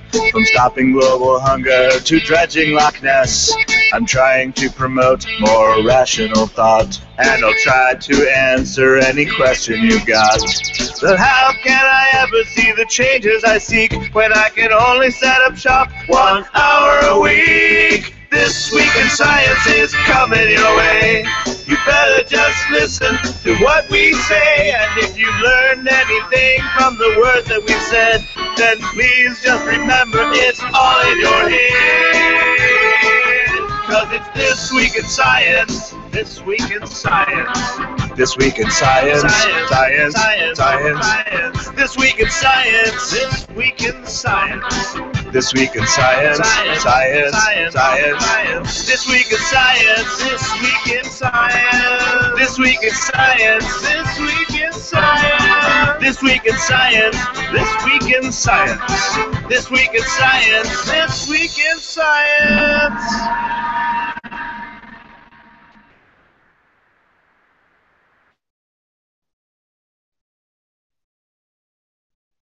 Hmm. End of the show. I hear somebody's radio. What is that? What is that? Do you hear it? No, you didn't hear it from me. That was weird. Anyway, it's the end of the show. Let me turn off my overlay. Howdy ho. I've got a radio signal. There was a radio signal, something.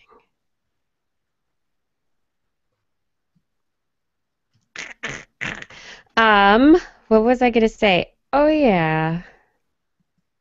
I'm trying to answer questions about koalas right now. Blair, are you okay? Are you there? Mm-hmm, Oh, there you are. Okay. I'm right here. You were just so quiet. Lost in thought. Yeah, what are you thinking about? Mm, penguins, giraffes, the usual. The competition.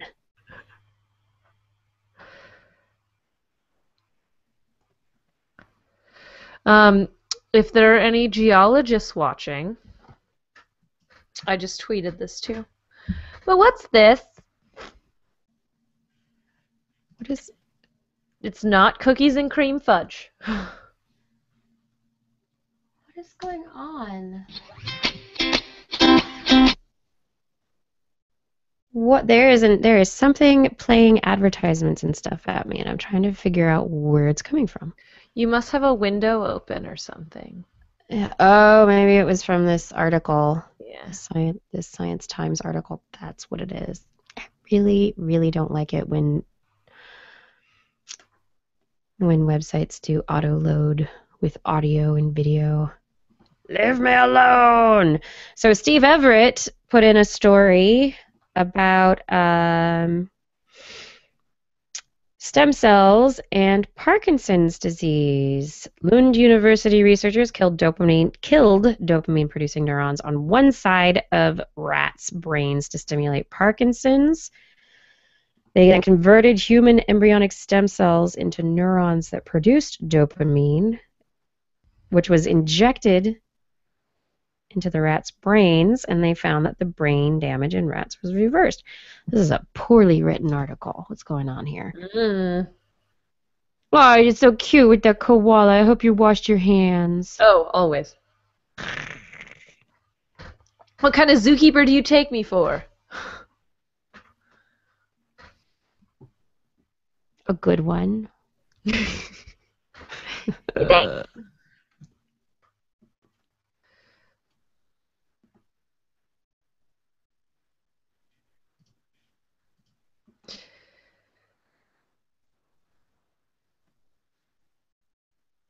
Really tired. Yeah, I'm I'm more energetic now that we've done the show than before the show started. That's for sure. You took my energy, Kiki. I did. I took it away. Aha. My hand shrank. Use the force. My hand got so tiny, guys. What happened? Yeah.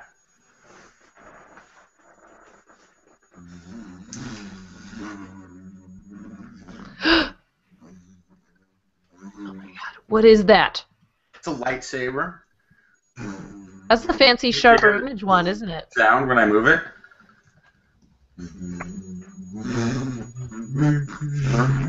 That like. My son found a place that sells lightsabers Mm-hmm. online. It's totally rad. We're buying like a whole collection of lightsabers now.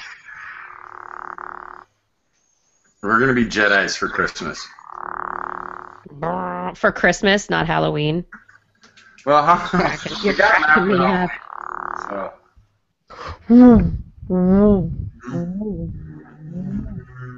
So I just I just posted why koalas are becoming less appealing to me.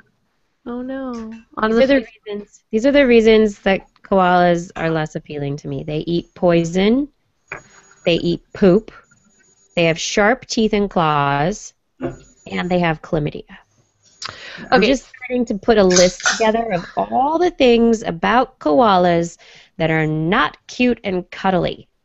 Can I say something though, koala related, uh, not directly in Can you there? qualify that statement? Buh. My Show me your favorite qualifications. species uh, in the state of California is the eucalyptus tree. I love a good I love a good row of eucalyptus trees along a stretch of highway. It's just gorgeous. So, Kiki, can I just say, if you are going to take issue with every animal that eats poop, Oh, That's I a know. lot of animals. A lot of animals. I know. I know. some of the favorites, bunnies, horses, gone. And thanks to the invention of fecal implant pills, you can Oh. add humans to that list. Actually, I think you could do it before that. I seem to remember seeing a YouTube video or something where. Well, anyway. Another thing about koalas, they can run as fast as rabbits. They're not slow little creatures all the time. Really? No. They can I move picture them being very slothy. right, but No. they they're not. They live they live most of their lives alone. They got deadbeat dads. They can run really fast. They have sharp teeth and claws. They lick poop. They eat poison. And now they have chlamydia. The koala is just the biggest charlatan in the animal kingdom. All right. Out. All right. Simmer. Right. Try to well, I was trying to Share screen this share. so you can What are you actually see it, but it's not working. How do I screen share this so it I see actually is on the right page? Oh, It says, I have the necessary qualifications. And then the elephant says, Your qualifications are completely irrelevant. irrelevant. I like it. I see it. Yes. There you go. These things make me happy. Thank you. I enjoy puns. Hey, TWIS audience, surprise! I enjoy puns. Oh, waka, waka, waka. So okay, so back to um, so I got to go visit one of my favorite locations in California this week, which is the Monterey Bay Aquarium. And you saw tentacles! Uh, the tentacle exhibit was pretty awesome, really. It was it was very cool. Still preferred the seahorse exhibit. The seahorses in their varied splendor of possible life formations are pretty rad. Tentacles also though very awesome. Whatever, your opinion is wrong. Uh, I like I like both. I if I if I were to pick a species uh, on this planet to inherit the sentient ability post humanity, I would I would put the octopus at the top of the list. I think they've got the range. I mean, look, this is this is what I was pointing out to my kids. Not only is it's not it's not only that three quarters of the planet is covered in water. Seventy percent of the planet is covered in water, but seventy percent of the land is covered by water. I mean, there's seventy percent of the land of the Earth uh, we have no access to. We are actually on a very slender portion of this planet. And, and so sea life really is the the main life form on Earth.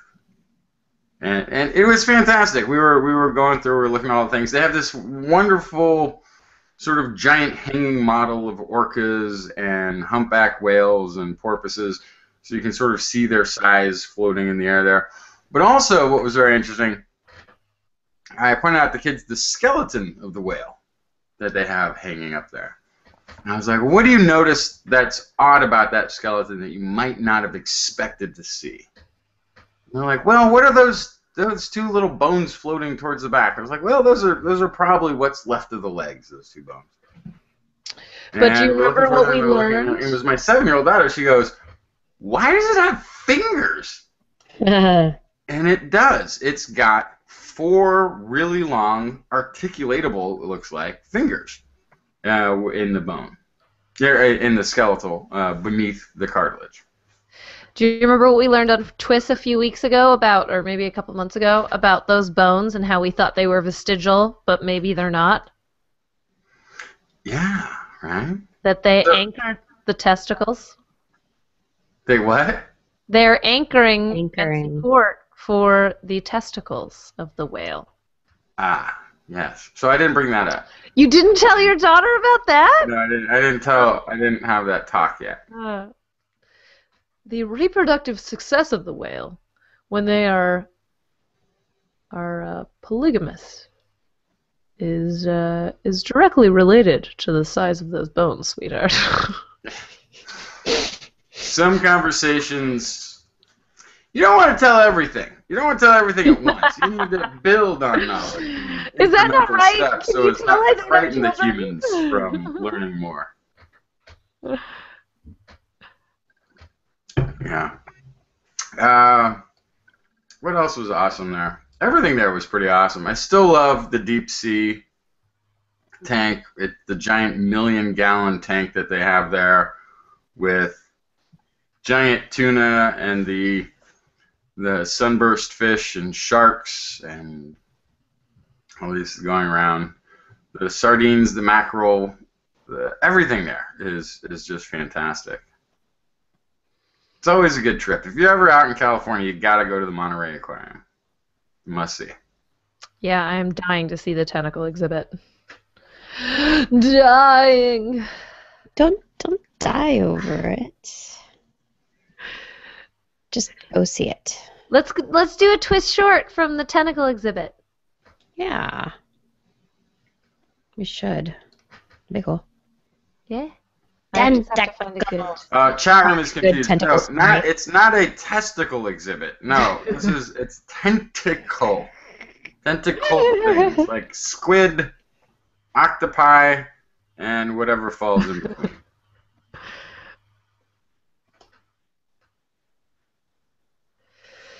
Why am I so hi- tired today, you guys? I'm I tired don't know. now I'm pretty tired too. So, um, do you think we'll get to see uh, Sharky Short pretty soon? Oh, uh, no. yeah. yes. I know that one was editing heavy for sure. Wait, you guys Yeah. did a short? Mm-hmm. We did a short, we recorded it, and it is sitting and waiting to be completed on my computer. So that is a project. What was the uh, subject matter of said uh, to be edited short? Sharks. Sharks. Sharks. Arcs. Yeah, it's a good good one. It's a good one. I had an in with some sharks, you see. Oh, oh, I saw do- we saw dolphins. We saw dolphins in the bay. This is actually my son's highlight. After walking through the aquarium, we went over to the uh, the kids uh, kid exhibit. Like there's a kid play area, but it's it's like a little too young for him. Right? It's a little too little for him. are, Right? With the penguins? The which one? Near the penguins? Yeah, near the splash zone. In the splash zone, right? I like the splash zone. Right. Well, whatever. Um, you're still seven at heart then. Um, so him being 11, me being 30 something in tax. Um, we, we went outside onto the balcony and we're just sort of getting a little fresh air, and we saw this pod of dolphins surfacing and going on. It was totally awesome. That was his favorite uh, favorite thing at the because that bay was of course teeming with life. Yeah. Uh, It's his- it's so fun to see, especially if you get to see the sea otters out in the wild, because you see the sea otters in the exhibit, and then they have usually they have the telescopes pointed right at where sea otters are hanging out, and you can go see them, and you're like, oh, but this, and that's that's awesome. I love it. yeah, yeah, that was very cool. yeah. Monterey Bay Aquarium's a cool place. I haven't been there in a while. It would be good to go down there. We should talk to Chad. What's his name? Chad. Yes, Chad King. Hmm, this Why, Chad King you speak of. Chad King was a marine biologist. Works down at Monterey Bay Aquarium. Or the. Um, we talked with him. hmm Oh, I remember. Mhm, mhm. He works at MBARI, actually, with MBARI, the Monterey Bay Aquarium Research Institute. hmm hmm hmm hmm hmm hmm He's the one to talk to. Yes. Let's all get in there. Why? Are you, what are you doing to your, your? Are you patting yourself? Are you petting yourself? What is happening with that little hand? I'm just gesticulating a little bit. Strange little hand. Oh my goodness. It's a dinosaur hand if you look closely here. See? Yeah, It doesn't have the right number of fingers. I mean, it does for a dinosaur. Yeah. It's a dinosaur hand. Yeah. So, so the whale only had five, uh, four fingers. I thought that was. I was trying to figure. And it was a very lost one long. already. Of course, it's a whale, but they were very long fingers. But only had four, and I couldn't pick up any sign of like a vestigial thumb or anything like that. Well, the digits develop at different times in utero, right? During like fetal development, there's a different order at which the digits arise, and that's part of the difference between like dinosaurs and birds and mammals. You can see the digits develop at, in different order, which is very interesting. So I'm thinking that um, it's possible, and I don't know, we could look this up. Maybe there is something more to it, but probably the thumb doesn't develop anymore. The fifth digit, right? Because Well, hang on a sec, because I've heard that I've heard that ancient whale fossils were thought to be sort of canine. Anyhow, right, so then canines have the dew claw back here. Mhm. That's their fifth Okay. digit. So probably they just don't have that, which is the easiest thing to lose because that's like the last thing that develops. So it's the easiest thing to not develop. Yep. So at a certain point, it's growing, and you get your four, and then the fifth is supposed to poke out, and that's when development stops. What I think is interesting about um, like birds is that they have the three and one in back. Mm-hmm. So they've got that fourth one, completely different orientation for balance. Right, right. and so it's, and it's actually a different, it's different digits than in Yeah. dinosaurs, which is It is. Um, my one of my professors in college was convinced that dinosaurs, that birds did not come from dinosaurs, and it was because of the digits.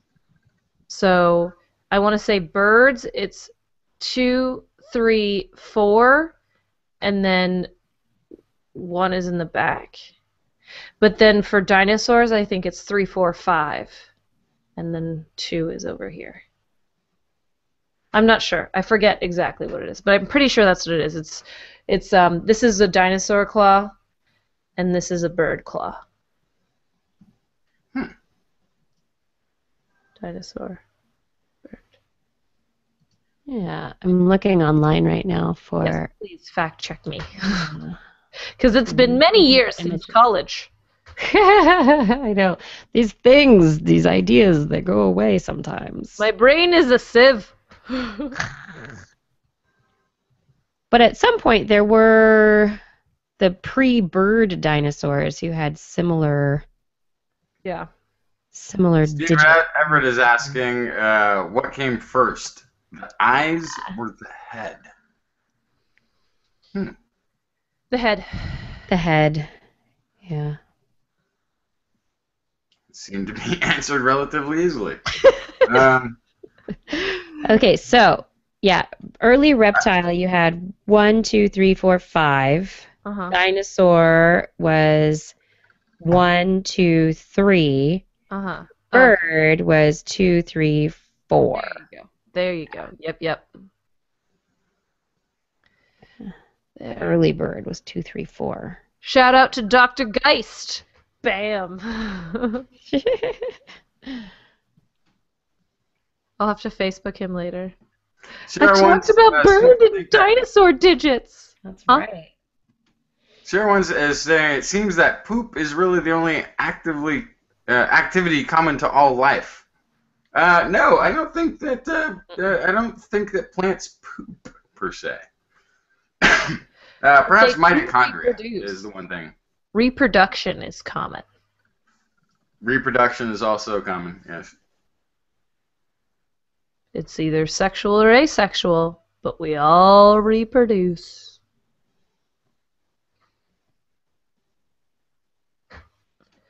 We I guess it can't even be. I was going to say respiration.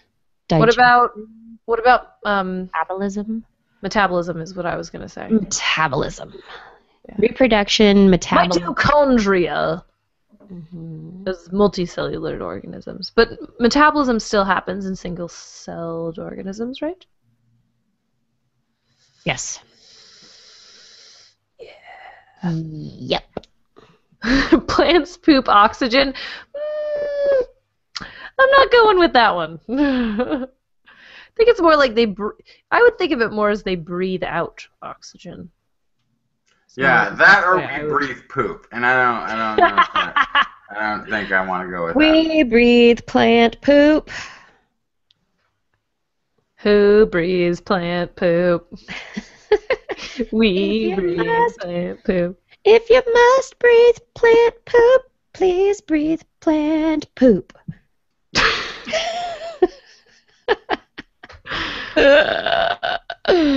oh, we lost Hot Rod on that Ma- one. Edward amazing migration is how gills in human embryo become bone in the middle ear. Hmm. Is that right? Because I thought the middle ear bone was a migration of bones from the lower jaw of some ancient ancestor fish. But uh, but still, it is an interesting migration. Let's see. We can figure this out. I thought it was. I thought it was the back of of fish lower jaw that migrated to become the bone, that bone ear. Where's the picture? I just I don't want to read words. I want to see a picture. It's on the image search. I Okay. did. It is it is jaw. It is part of the jaw joint that turns into the ear. Part of the jaw joint. Quadrate and articular bones.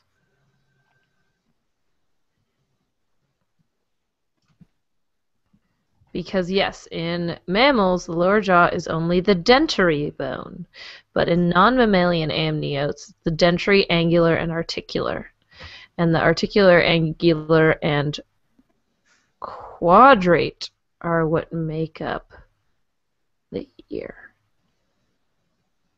Yes, but there is a uh, let's see, the gill arches Uh huh. from the embryo Uh huh. go move on to be various things. So arch one of the gill arches becomes uh, lower jaw and inner ear. Arch two becomes something else in the the rear jaw, something else in there. And then bone three is the uh, larynx, looks like, and arch four becomes the throat. You can name them that way. This is coming back to me now. I know. I haven't looked at this stuff in a while. That's interesting. I love evolutions. I wish I didn't appreciate it as much as I should have in college. I will. I, I can say the exact same thing. I was like, It's like, oh, this is so dense. I have to memorize this. But if I'd put it in the right context, context, I would have been so nerded out and amazed, and and I would have loved it. Yeah. Just the context was read this, learn it, and it was like. meh. But if it was, hey, did you know that the bones in your inner ear used to be gill slits? What? Tell me more. Yeah. it's like the the common the common ancestry or the hey, fish have these gills, gill slits, and we have this commonality because we're vertebrates too, and so blah blah blah blah blah. You put it all together, and you're like, dude, my inner ear used to be a gill. I mean, it's a simplification, but still, it's awesome. Thanks for starting that one, Ed. Yeah. The simplifications make things really interesting. Yeah. It needs to be boiled down some sometimes. Yeah, does need to be boiled down sometimes, but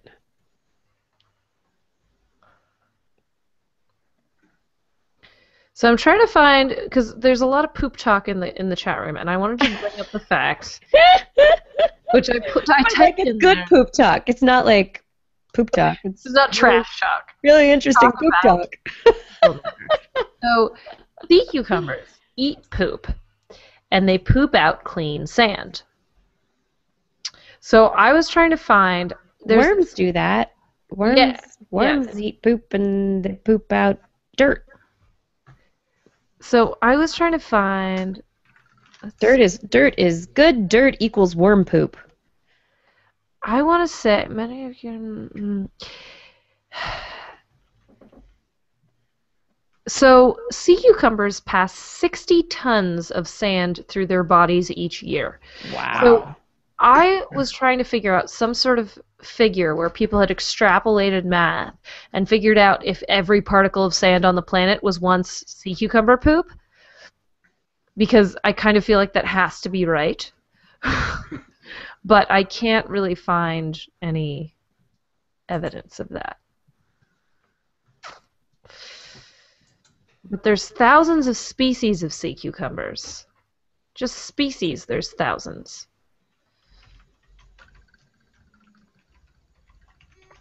In the familial manner, every grain of sand has passed through a sea cucumber. So Where'd that's in a text, that? a textbook. Textbook. There are 6,000 living species.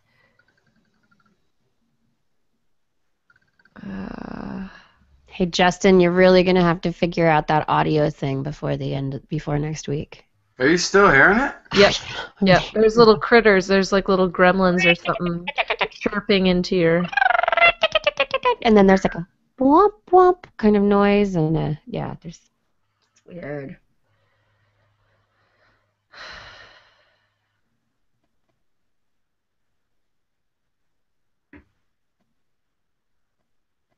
Sea cucumber poo moderates the impact of ocean acidification. They Hmm. increase calcium. One of the byproducts is calcium. Yeah, but calcium wouldn't help. It's the carbonate that we're losing from. Yeah, let me get the uh, the quote here.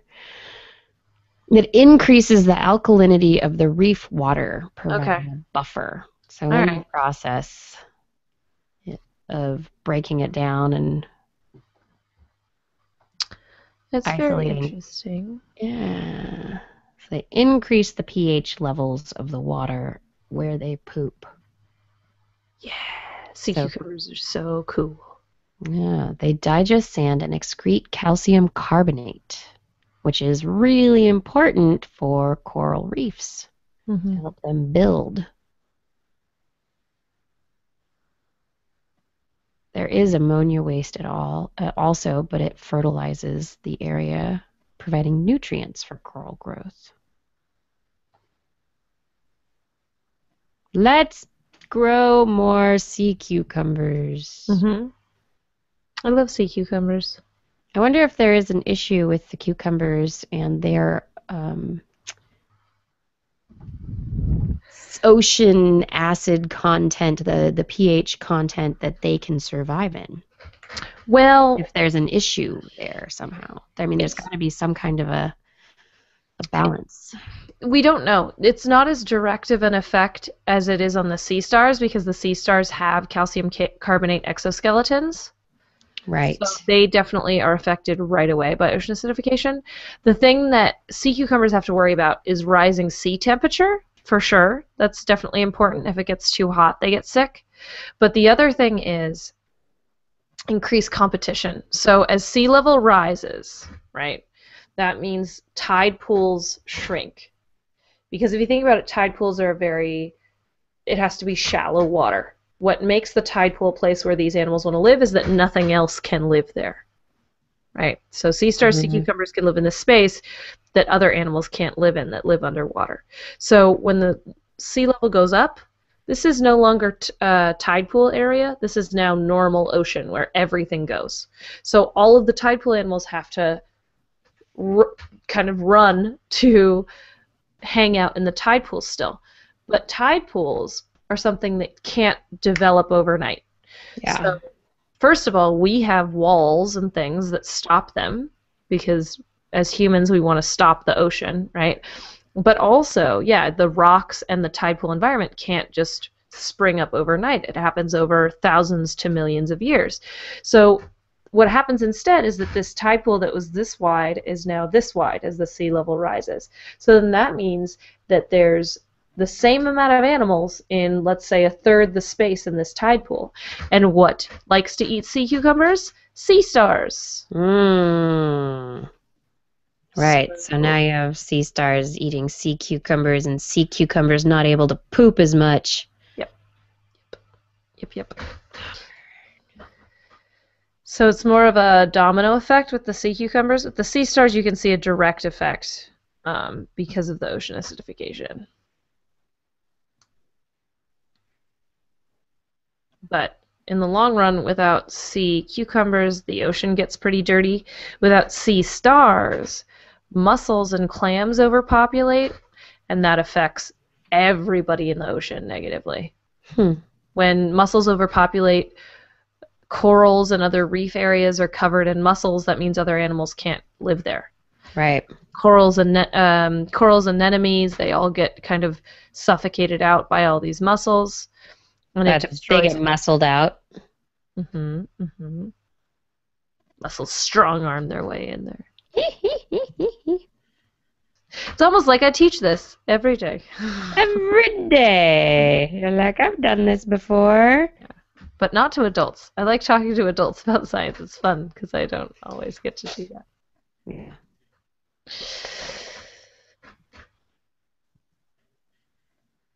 Adults to understand what's going on.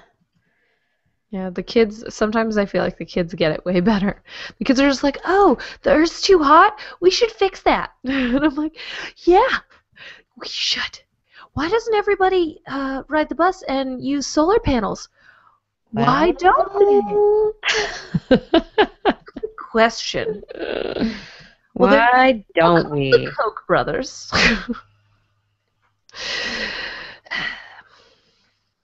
Hmm. There's these things called lobbyists, Jimmy. Lobbyists don't stop people from taking the bus. No, they do um, stop the government from investing in better bus lines, um, better solar panels, solar panel mandates, all of these kinds of things. Well, we just we just put the oil lobby into office, so I know. And the, Get the Keystone Pipeline is going to happen now. yeah. Eh, Not necessarily. Uh, pessimistic outlook there. No, it sounds No, like no, it's no. I'm, a I'm almost I'm almost looking forward to the competition to see who can out crazy who in time for the next national election. Mhm. And I, I believe an implosion is imminent. Infighting and implosion. Somewhere. It's sort of like it's sort of like when Iraq fell and all the other all the little warlord groups started vying for different regions and territorial disputes. It's gonna get ugly for my amusement. For your amusement. It's all for But- your but nothing amusement. good will be you know not that anything good was being done anyway, but nothing good will be done. Yeah. Um, I thought it or I may I may regret the fact that that that there is nothing getting done anymore. Well, so uh, did you guys vote in the midterm election? Yep. Yeah. Yes. Okay, so Absolutely. I was looking at the um, the propositions, some of them in line to vote. um, but you know, I always print out what uh, my party affiliation um, suggests, and then I look at that and I read the propositions, and then I make my decision because I don't always agree. And I was very surprised to see this stuff about Golden Gate Park. For those of you that are from the Bay Area that know about Golden Gate Park, Yeah. um, they wanted to turn the polo fields into astroturf and have lights on. I think it was 24 hours a day on that field. Um, I don't think it's 24 hours a day. They just want to be able to have the lights on at night so that people can play when it's Right. dark. or maybe it was 10 p.m., but I felt like it was too late. It was like late into the night they wanted these lights on. And um, I was just a little worried about a few things. Um, I know grass is horrible in terms of water use, and I and I know that grass is not a perfect solution. And also maintenance. It's pretty Yeah, it's- to keep a perfect pitch. Yeah, but it's also a filtration system. It's also a carbon sink, and I was really worried about light pollution. I was really worried about light pollution to the all of the animals that call Golden Gate Park home because a lot of animals do. Um, That's interesting. I think that's the first, uh, I don't know, first reasonable argument I've heard on that front. It was. I just feel like there's a better answer because I know there are a lot of grass alternatives that don't require very much water, that don't require very much upkeep, and are still soft. Yeah. And I just feel like um, turning an area of Golden Gate Park into non-plant land, turning it into a not living area anymore seems like not the right answer to me. And so it wasn't something that I wasn't like, yes, it has to stay grass forever. But I was more like, mm, I don't think this is the right answer. I think every yeah. I mean, I I think that you know everybody's got different ways of looking at it for how they want to use Golden Gate Park and the area, and that's a you know it's a question of you know what is Golden Gate Park to you, and what is the purpose of that area. That area is you know meant for not just plants, but Mhm. for people use. It's a part of the park that has been reserved for people to use it. And so, what is the best way to make it usable by people, but also maintaining the mm-hmm. park in the best way? It's an interesting thing too because San Francisco. San. San Francisco, Berkeley, we're full of a whole bunch of There's a myriad of types of people. I think that's People. what you're, what you're getting at. But what I was going to say was that San Francisco is one of the most green urban areas in the country. yeah, it's great. Eh, there's a lot of natural or green areas, and not green like energy efficient, but green like literally green. And so, at what point is it still a green area if it's not real grass? I don't know. I think it's very interesting. It's it's an interesting topic to bring up because But if they're using old tires to create that that surface, Mhm. it's still a carbon net sink.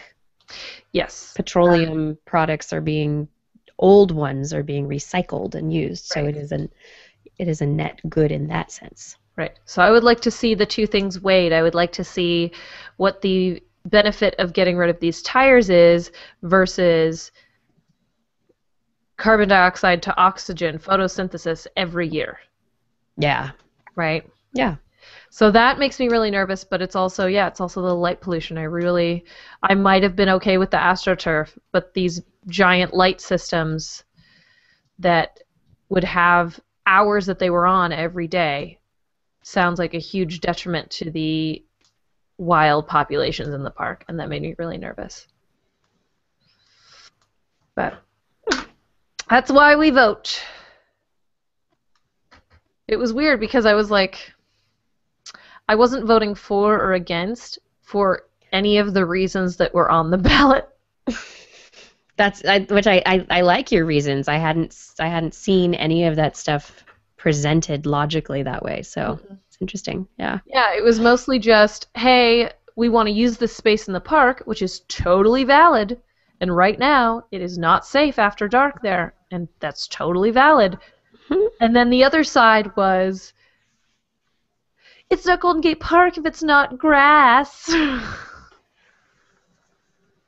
which is Whatever. not really a valid argument. It's not really valid. No. It's Yeah. But so I I don't know. so they should call me before they make these decisions. That's funny. Um, I saw on uh, on the news today. I wasn't sure if it was real or not. I really thought it was fake, but it was from a reputable, well, semi-reputable source. I mean, it was on the internet, but it looked like it's it's got to be fake. That they were selling Dolores Park to Dropbox. What? no. No. Who would? Why would the city sell Dolores Park to Dropbox? It's it's a city park. know. That's really that's ridiculous. Dolores Park. Dropbox. This this might be a satiric site. This is what I have to figure out.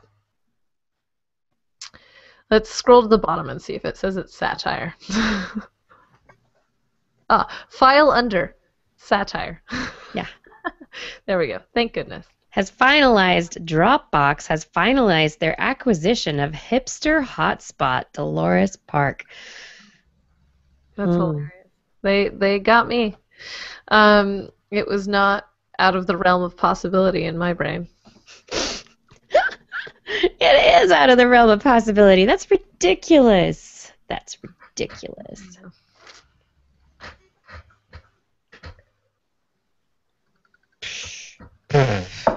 Anywho, I'm pretty gullible. What can I say? You're gullible. That's why you have to check your sources, people. I'm tapping out. Good night, ladies. Blair, Alright. welcome back. Glad Thank to you. see you conscious. Yay! I'm tired too. Maybe we should all tap out. Let's all go. You've been complaining about being sleepy since before the show began. You should go to bed. Yes. Right? I know. I should go So to I'll bed. I still have stay. to No, I'm kidding. I need to go also. I have to record my daily inspiration still. I haven't done that, and it's going to take me a while to upload that. So, wah for me. Um, hey guys, thanks for doing a good show with me. Thanks for having me. I'm happy to be back. I missed it. Yeah, we're glad you're back. Yay, Blair's back. She'll be back next week, right? Yes. Yes, awesome. All right, Justin, have fun on the moon for the next week. and everybody out there, thanks for hanging out with us. Thank you for poop talk and everything in the chat room. Really appreciate your time watching the show and joining us as as you do week after week. Love it. Love it, love it, love it. Thank you so much. Hope you have a great weekend. Um, I don't think we have any big news for next week. Hopefully, Justin will get rid of his tribbles. But I, I still don't know what that is. Oh, uh, I did have a chance to speak with uh, OG TWIS Minions, uh, Ted Dunning and Greg Yen. oh yeah, And Greg Yen has committed to either getting Dunning's technology up to par, as Greg is engineering department, uh, or actually just having him up, although Wednesdays might be tough. But uh, we're trying to figure it out. cool. Let's figure it out. Doesn't it's not happening until February, so we have Yeah. time. A little ways away. We have time, but we'll make it happen. It will be so. Good night, minions. I will see you all next week. Good night, Good night, Yay! Bye. Good night. Thank you, everyone. Good night. Bye.